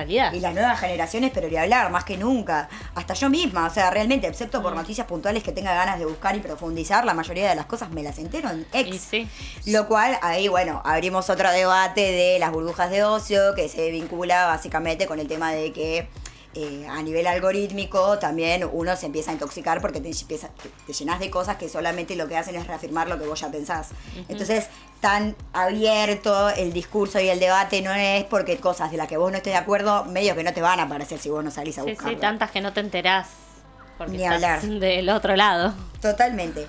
Y acá lo que pasa en esto que hablábamos de la proporcionalidad, bueno, teniendo en cuenta esto que mencionábamos, de que X es una plataforma eh, de un espacio público de opinión, de información, de acción de la política, eh, tenemos que hablar de que las medidas que se toman, bueno, otra cosa súper interesante para hablar de, de la libertad de expresión es que Elon Musk, residente de Estados Unidos y uno de sus grandes referentes, Estados Unidos, que se la da como el país de la libertad y de la libertad de expresión, está en una contienda particularmente con una empresa por lo que viene pasando con TikTok, que sin demasiada eh, sustento real al respecto, están queriendo censurar TikTok porque dicen Lo quieren que prohibir. lo quieren prohibir porque promueve y tiene una influencia comunista en los jóvenes, porque como sabrán TikTok es de China.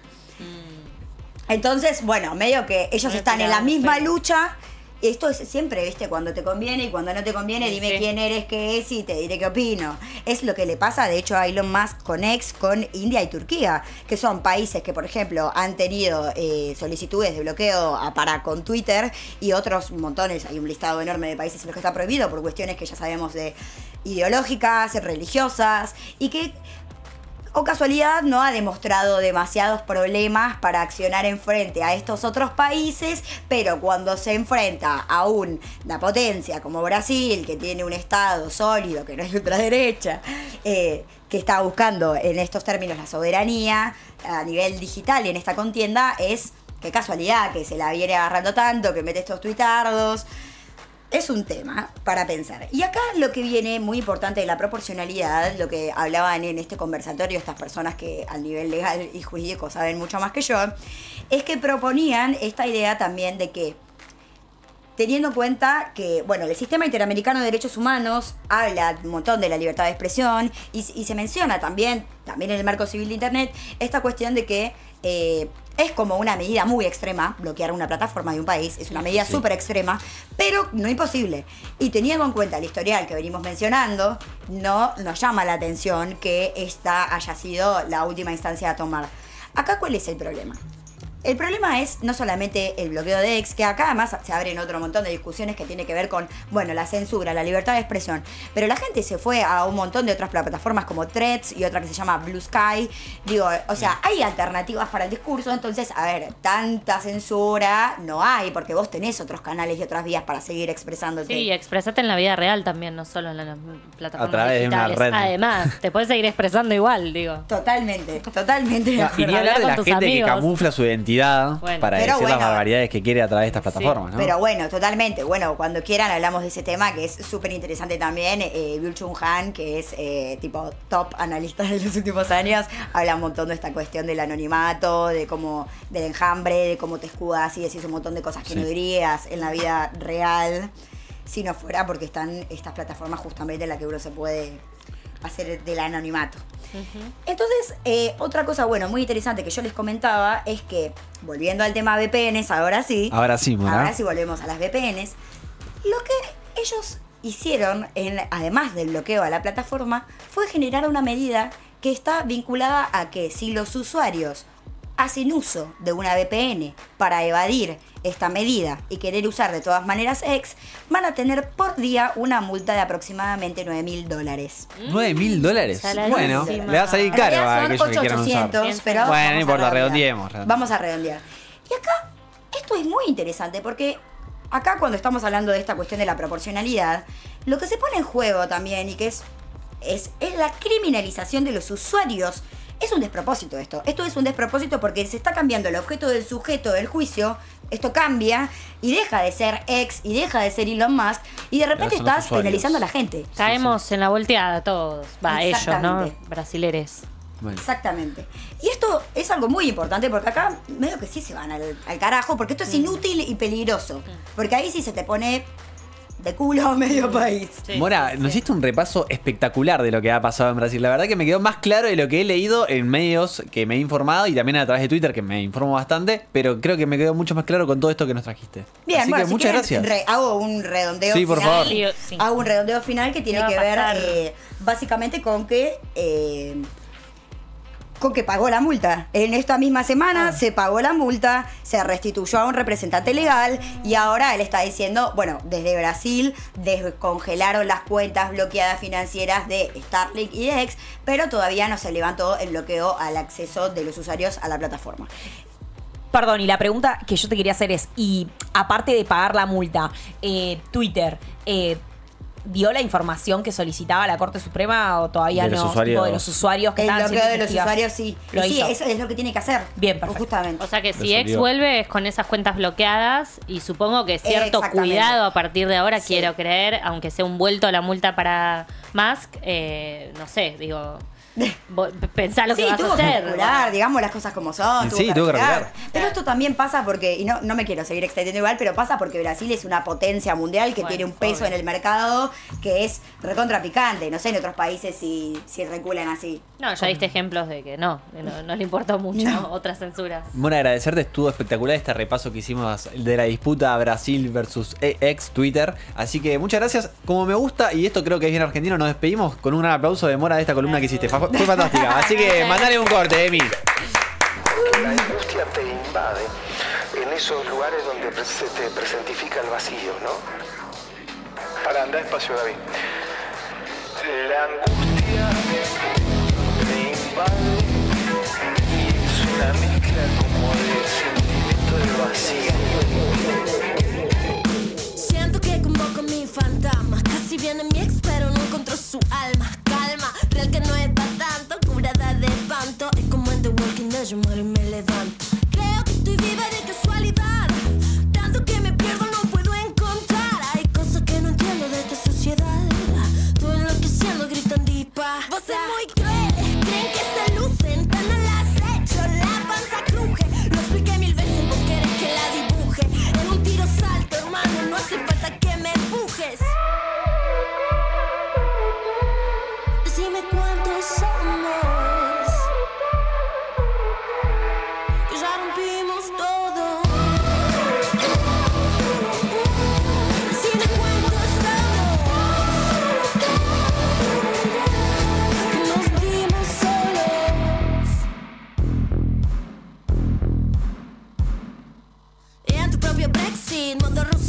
Si no encontraste vestillas en la soledad, jugarla de imbécil solo te hace dócil para algún inútil que te usa y se va.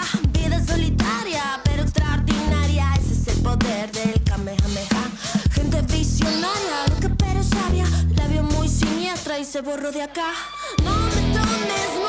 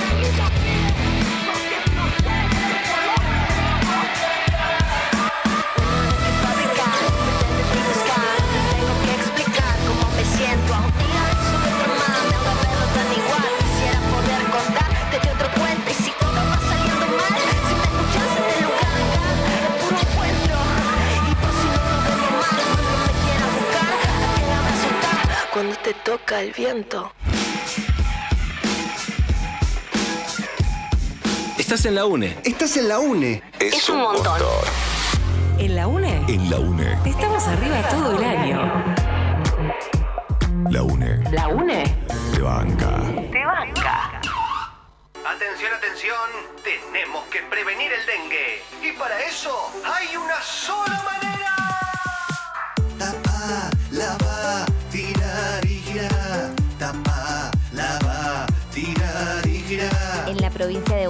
la prevención es todo el año. Sin mosquito no hay dengue.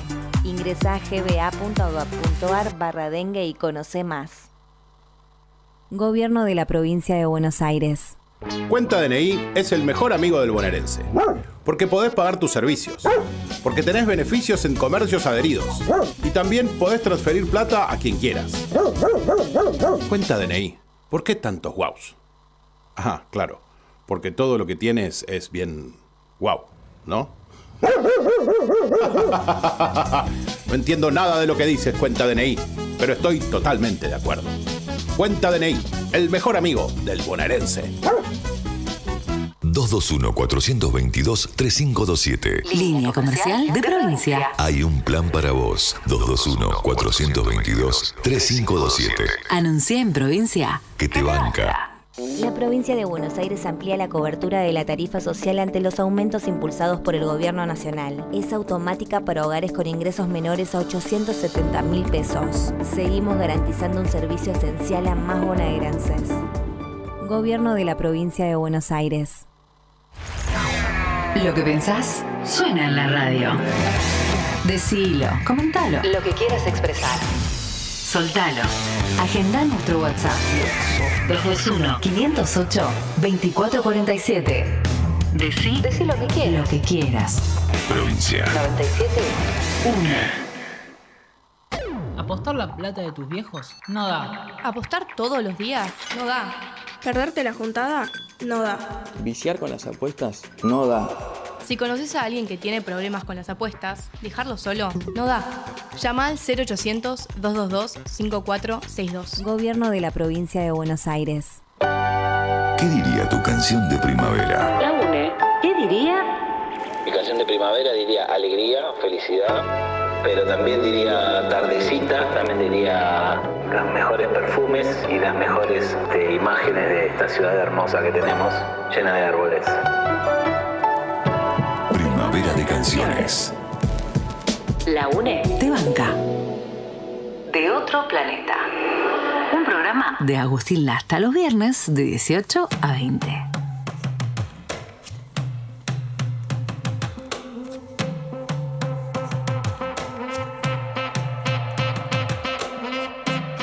Siendo las 19 y 40, continuamos con más de otro planeta después de haber escuchado de la fantástica columna que hizo Mora Vázquez acerca del, del momento eh, social que está pasando Brasil con Elon Musk.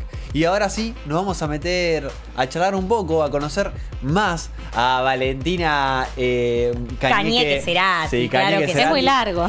No, pero, está bueno eh, pronunciarlo completo, ¿o no? Exactamente. Pronunciar bien Cañeque, porque es un apellido difícil, que No, siempre me es confundo Cañete con Cañete. Sí. Eso me pasó, lo venía pensando y dije que Cañete, Cañete Cañete. es más popular, o sea, es un apellido más común y en general siempre yo ya es como que dejo a la gente que escriba Cañete porque, bueno...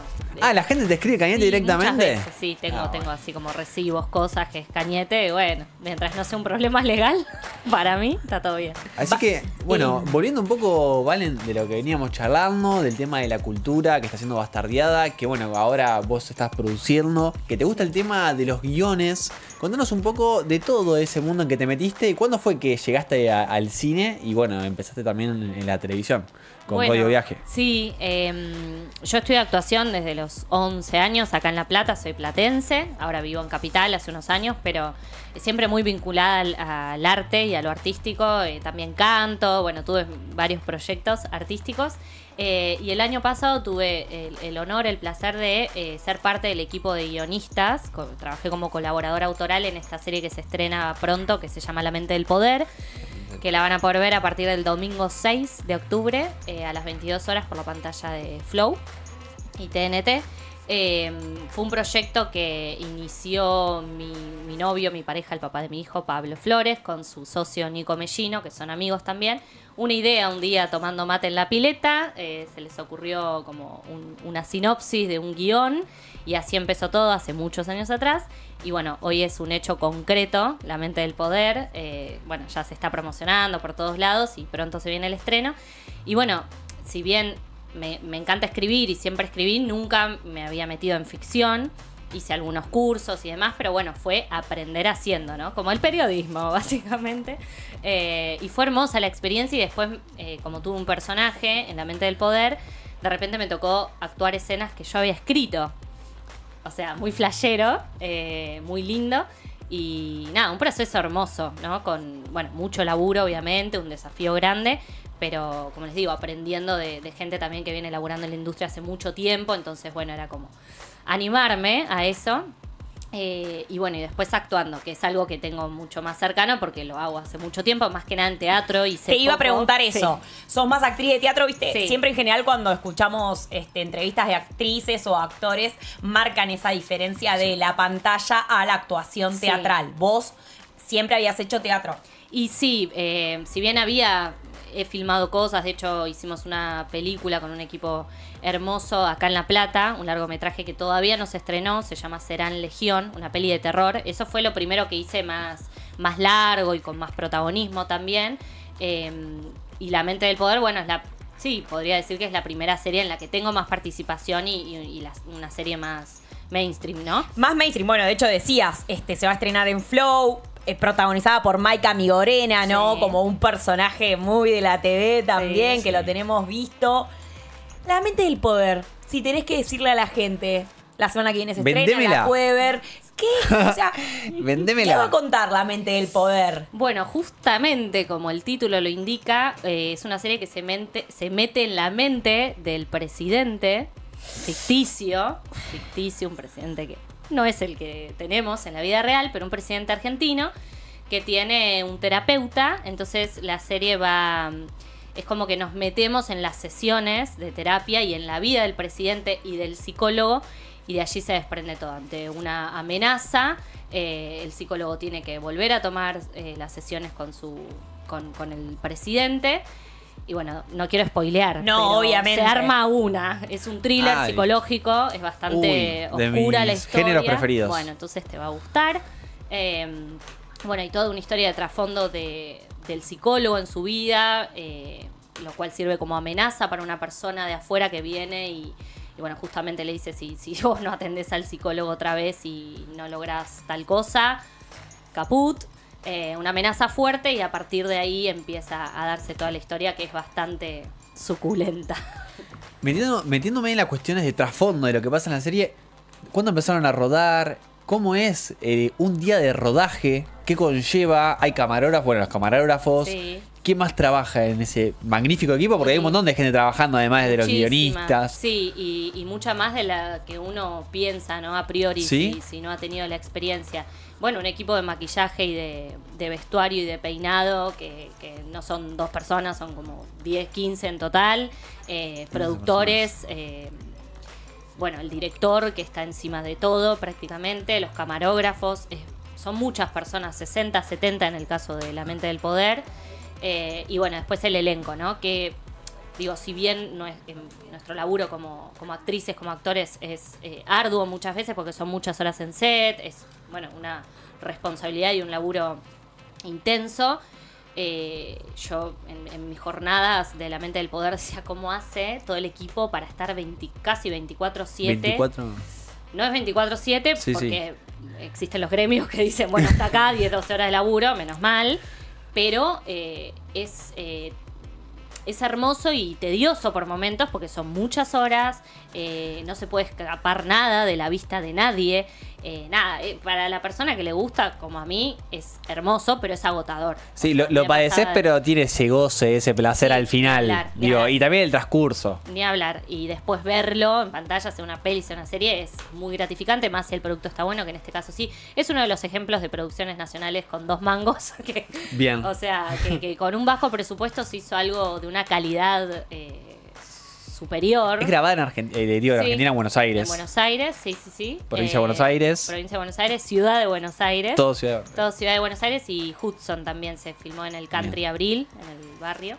Eh, bueno, sí, e- es, muy flashero, pero a mí me ha pasado de terminar eh, dos, tres jornadas seguidas que me tocaron, que tampoco es tanto porque los protagonistas tienen muchas más, y terminar muy agotada, como con mucho desgaste energético.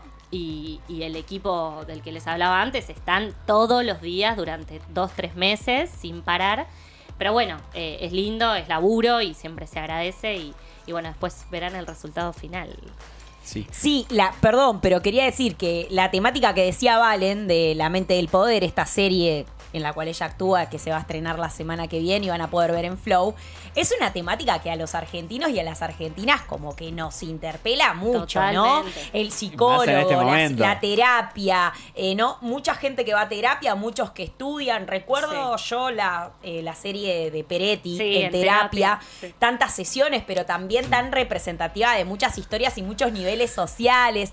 Hay como algo ahí que, que nos gusta saber qué pasa en eso, ¿no? Que nos identifique, más allá de que sea ficción, sí, hay mucho condimento que, que, que es de, común a toda la humanidad y, y- y en este caso a los argentinos y las argentinas, porque es un presidente argentino, que no deja de ser ficción. Pero bueno, también digo, hay, hay toda una línea en la que, de la que es parte mi personaje, Manuela, eh, que es una militante social y que está defendiendo eh, una causa que se quiere aprobar un- una ley de un proyecto para saquear el país, los recursos básicamente, con empresas foráneas.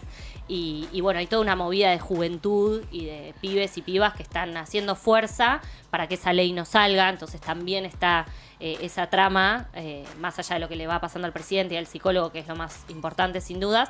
Bueno, también como una, un retrato social político de lo que sucede en determinados momentos cuando la cosa se pone complicada. Les recuerdo que estamos charlando con Valentina Canieque Cerati. Ella es actriz y comunicadora. Bueno, ahora es protagonista de La Mente del Poder, que se va a estrenar el próximo domingo 6 de octubre. Y Valen, bueno, eh, venimos hablando del, fi- del fi- de financiamiento que van pasando varios sectores. Eh, tu pareja productora Sí. lo viven de cerca, el, eh, de producir con bajo presupuesto. Contanos un poco más la situación que está atravesando, que lo viven desde adentro ustedes. Sí. Que hay que salir a pedir platas a otros lugares, porque hoy el Estado le está dando la espalda a las producciones nacionales. Sí, totalmente. Y, y, bueno, nos pasa, digo, a quienes nos dedicamos a, a este rubro, que está difícil porque si antes se estaban filmando, por decir un número que no es, pero 100 películas, ahora se están filmando 3. O sea, proporciones así como demasiado guasas en ese sentido y, y está difícil porque, y no, digo, yo hablo como actriz, pero sé que, que están todos en la misma y todos como pendientes de si aparece trabajo porque necesitamos trabajar. Sí, sí. Eh, y se nota, se nota, si bien yo por ahí no, eh, no estoy hace tantos años en la industria audiovisual, eh, mi pareja sí, y, y es muy claro el, el- el contraste, ¿no? Con años atrás. Eh, es muy triste también y bueno, espero que, que haya algún revés. Tengo entendido que, que hay unos nuevos fondos que se otorgaron al Inca, no sé si esto, o sea, si es oficial, pero no, no, no estoy enterada en detalle de, de Si qué se dinero, ejecutó. si se Sí, sí. ejecutó, pero hay algo activándose que me da una mínima esperanza de que la cosa mejore, porque, bueno, volvemos a lo mismo, lo importante que es producir cine, eh, contar nuestras historias, dejar eh, asentado de forma audiovisual eh, lo, que, lo que nos está pasando, lo que estamos sintiendo como, como sociedad, como pueblo, y, y las creaciones, ¿no? que son tan necesarias, para tan vitales, como decía antes, para todos. Eh, digo, qué lindo es poder sentarse sentarte en tu casa a ver una peli nacional que esté buena, una serie, más allá de los gustos, ¿no? Digo, eh, y ahora está todo muy muy acotado, eh, se nota, digo, para quienes estamos adentro se, se nota que hay una diferencia fuerte y bueno, ojalá que se revierta. Esperemos que así sea. Eh, voy a hacer una pregunta medio cholula. Em, Laura también, Eleonora Wexler. Sí, puede ser. Ahí va. Eleonora. Una de las mejores Son como, o sea, ella a mí me parece muy buena actriz y aparte siento que es esa gente que fuera de cámara es como Sí. súper Pintona. correcta, eh, Sí. Diosa tipo, total. diosa, pero Reina. correcta, ¿no? Y esta Maika Migorena que del otro lado de la pantalla Sí. uno lo ve como súper Está extrovertido, no sé qué.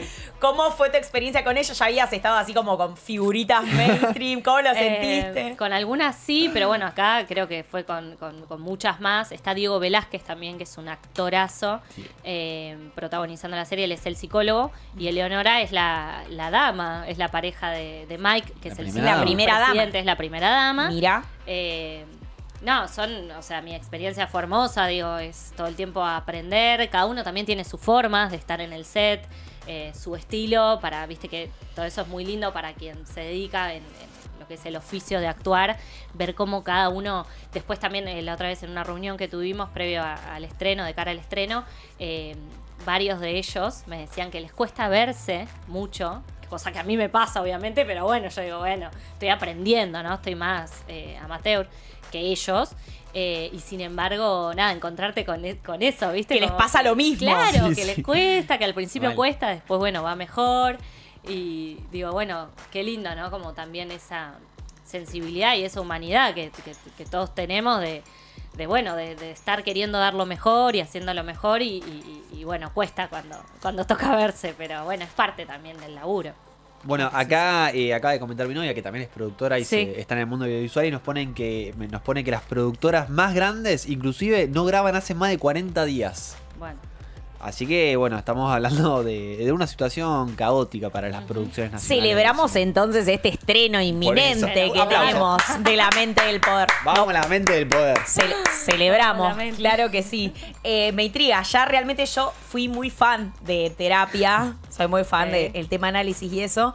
Eh, pero bueno, esto que narrás es una historia que eh, trasciende la vida de los personajes y Sí. se aboca también a un contexto. Cuando hablabas de, que, de tu personaje Manuela como activista, recordaba cuando vi la película Juan hace Sí, muy poquito, hermosa, que se estrenó también a principios de este año. Sí. Y creo que la vi hace dos meses. Sí. Y era tan vigente todo lo que narraba. Total. Y vos ahora medio como haciendo un resumen o tirando como algunas puntas de, de qué va a ir la mente del poder, siento que es una serie como muy actual. Totalmente, sí, que tampoco era la intención, porque como les contaba, la, la idea de.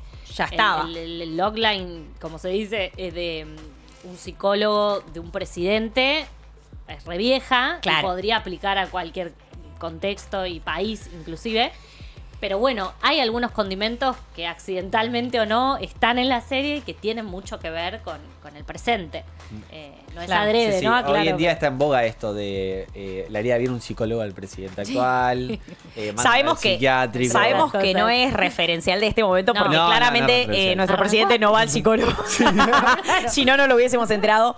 Vale, te quiero hacer una última pregunta. Sí. Esta no es sobre la serie, pero estuviste en Código Viaje, ¿no? Un programa que recorría la provincia de Buenos Aires. Sí, muy hermoso. ¿Cómo fue tu experiencia? ¿Conociste lugares que decís, che, loco, no, Sí, platense. Mirá lo que hay vine acá. ¿Cómo fue eso? Sí, me pasó y creo que le pasa a toda la gente que mira el programa, que bueno, justamente terminó la quinta edición, eh, se transmite los domingos por Telefe a las 12 de la noche, pero posiblemente vengan temporadas nuevas pronto. Sí, es un programa que además de estar muy bien filmado, eh, es como cinematográfico, o sea, ves Sí. la provincia con la belleza que tiene, no es un...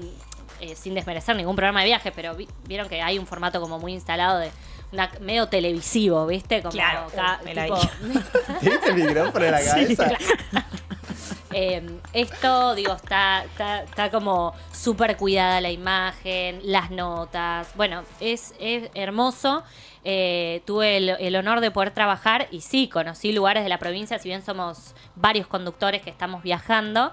eh, a mí me tocaron algunos de esos lugares, pero uno así que creo que no me lo voy a olvidar más es el, el faro de San Clemente, que es uno de los, es uno de los faros más antiguos del país y más altos. Eh, y vi un atardecer ahí que, chicos, no me lo olvido más. Me dan ganas de ir a San Clemente mañana y No, no, verlo. Una belleza, eh, bueno, obviamente se ve el mar, todo el verde, Sí, sí, y así increíble. un montón de lugares que me tocó conocer, que después otros los conocí a través de la pantalla con notas que hicieron mis compañeros y mis compañeras.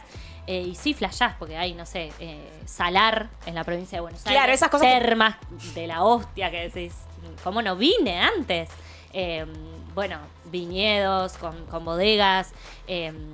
Productos de exportación increíbles, como las mejores mandarinas del país están en la provincia de Buenos Aires, por decirte.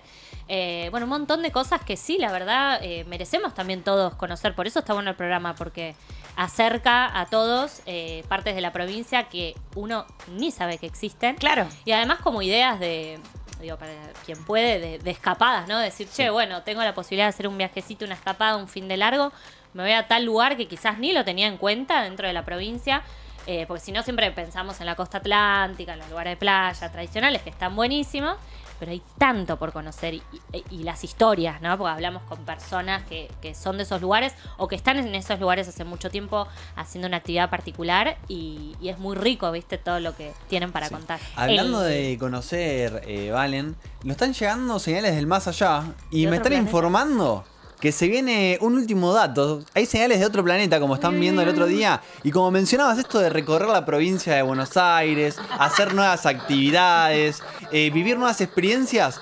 Tenemos conectado en este momento a Diego Sarantonello, que él es director de cultura de Bransen, donde se va a desarrollar la séptima fiesta de la galleta de campo en Olodín Bransen. Así que, buenas noches, Diego, ¿cómo estás? ¿Todo bien? Buenas noches, ¿cómo estás? Buenas noches a la audiencia.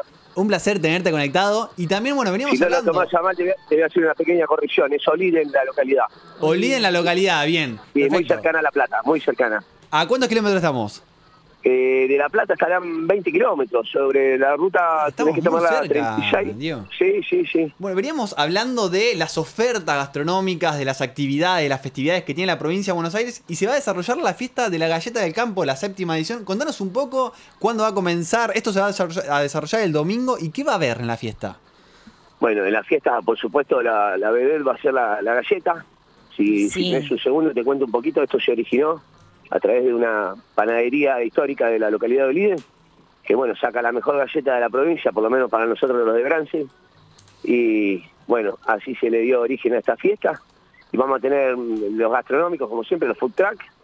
Va a haber parrilla, eh, bueno, va a haber para degustar diferentes tipos de galletas, mucho salame, mucho mucho campo, digamos. Galleta de campo y salame, se me hace agua la boca, Diego. mucho crudo. eh, bueno, la gente de los food truck también se copó con presentaciones especiales para la fecha, todas siempre basadas en galletas, ¿viste? Sándwiches. Uy, qué rico. Van a hacer como, claro, como la reina es la galleta, tipo edición sándwich con galleta y esas cuestioncitas. Sándwiches con galletas, Oh, cerveza Galleta. artesanal. No puede fallar. Pero qué, qué bien, Diego. Bueno, entonces estamos cerca para todas las 20 personas. kilómetros, Estamos acá a la vuelta. Eh, estamos muy cerca de la, de La Plata, estamos muy cerca. En bicicleta se puede de- hacer. Bueno, están cerca de Correa, bueno, todas las localidades vecinas, ¿no? Diego, ¿y se elige la mejor galleta? Eh, no, no se elige porque, eh, bueno, trae ciertas complicaciones porque Bien. Está bien, uso no hay Diego. nada escrito. Está bien, Son todas Diego. ricas. Sí. Es certamen, ¿viste? Es para probar. Todo el mundo tiene la posibilidad de probar y elegir por sí mismo qué es lo que le más le guste. Bueno, ¿a qué hora arranca la, la festividad? Ah, Y estamos, nosotros vamos a estar desde el mediodía, ya van a estar todos montados, ya incluso sábado a la noche ya va a estar todo armado. Pero el comienzo está al mediodía, con números musicales, vamos a tener folclore, cumbia, va a estar divertida la cosa. Espectacular. Qué linda, qué linda actividad y festividad para ir a celebrar allá a Oliden, eh, en Bransen. Bueno, ¿y se, hasta, ¿y se va a extender hasta la noche esto? Sí, sí, sí, hasta la tardecita noche. Tenemos para Oliden, rato. para el que no conoce, es un pueblo rural fantástico. Fantástico donde parece que, que no pasó el tiempo, ¿viste? Eh, está muy lindo, muy cuidado. Lo van a disfrutar mucho la, la- la tranquilidad y la oferta gastronómica es muy amplia también. Diego, agradecerte por la comunicación y por contarnos cómo va a ser esta festividad allá en Oliden. Así que muchas gracias. No, gracias a ustedes, muy amables. Los esperamos a todos. Obvio. Un abrazo grande. Me voy a dar una vuelta por allá para ver, para estar en la festividad de la Espero, galleta de campo. espero y te voy a, te voy a presentar a algunos cerveceros amigos. Eso no, no, no hay vuelta atrás. ¿eh? No falla. No, no, no falla. Gracias, Diego. Bueno, abrazo. Abrazo. Estábamos hablando con Diego Sarrantonelo, que él es director de Cultura de Bransen, que nos comentó un poco de esta festividad, hablando de este recorrido que han hecho ustedes con Código Provincia. Otra festividad más. Y bueno, ya son las 20 horas. No, Hemos llegado se nos al terminó final. de vuelta Se el nos terminó de programa. vuelta el programa. Qué rápido ¿Cuándo pasa. ¿eh? A ver, Valen, ¿la pasaste bien? Recontra bien, muy rápido se me pasó, pero muy lindo. Se pasa rápido. Sí, sí, sí. Eh, ¿ha, ha estado en streaming? ¿Ha participado en.? ¿Sabes que no? Ah, mira. Me quedé Vamos, como la la estructura vieja de la radio. Eh, yo trabajaba en FM Cielo. Sí. Hice varios años ahí, eh, pero no había streaming todavía. Bueno, de hecho, creo que no hay aún. Eh, ahí, eh, nada, todo nuevo, así que les agradezco por este bautismo. Bueno, gracias. Gracias No, por haber venido por primera vez acá, ¿o no? Un placer tenerte. Y Igualmente. eh, haber charlado del cine, haber charlado de. eh, bueno, de la producción que va a salir el próximo domingo. Todos vamos a estar del otro lado con la mente, Mente del del poder. poder. Pero. Escucho devoluciones. La vamos a estar viendo. eh, eh, se- ¿Cuántos capítulos tiene? ¿Se puede decir eso? Sí, ocho. Ah, Ocho ocho- ah, capítulos. bueno, espectacular. Sí, sí, sí. Así que es un hermoso programa. Felicitar a este tremendo equipo que ha hecho de otro felicito. planeta. Nos vamos a encontrar el próximo viernes. Ya Así llega es. octubre. Qué placer que llegue octubre porque ya septiembre se estaba haciendo larguísimo. Así que muchas gracias a vos que estuviste conectado. Miranos en On Demand y entrate de lo que ha pasado en la semana. Esto fue de otro planeta. Nos encontramos el próximo viernes, 18 horas. Chau.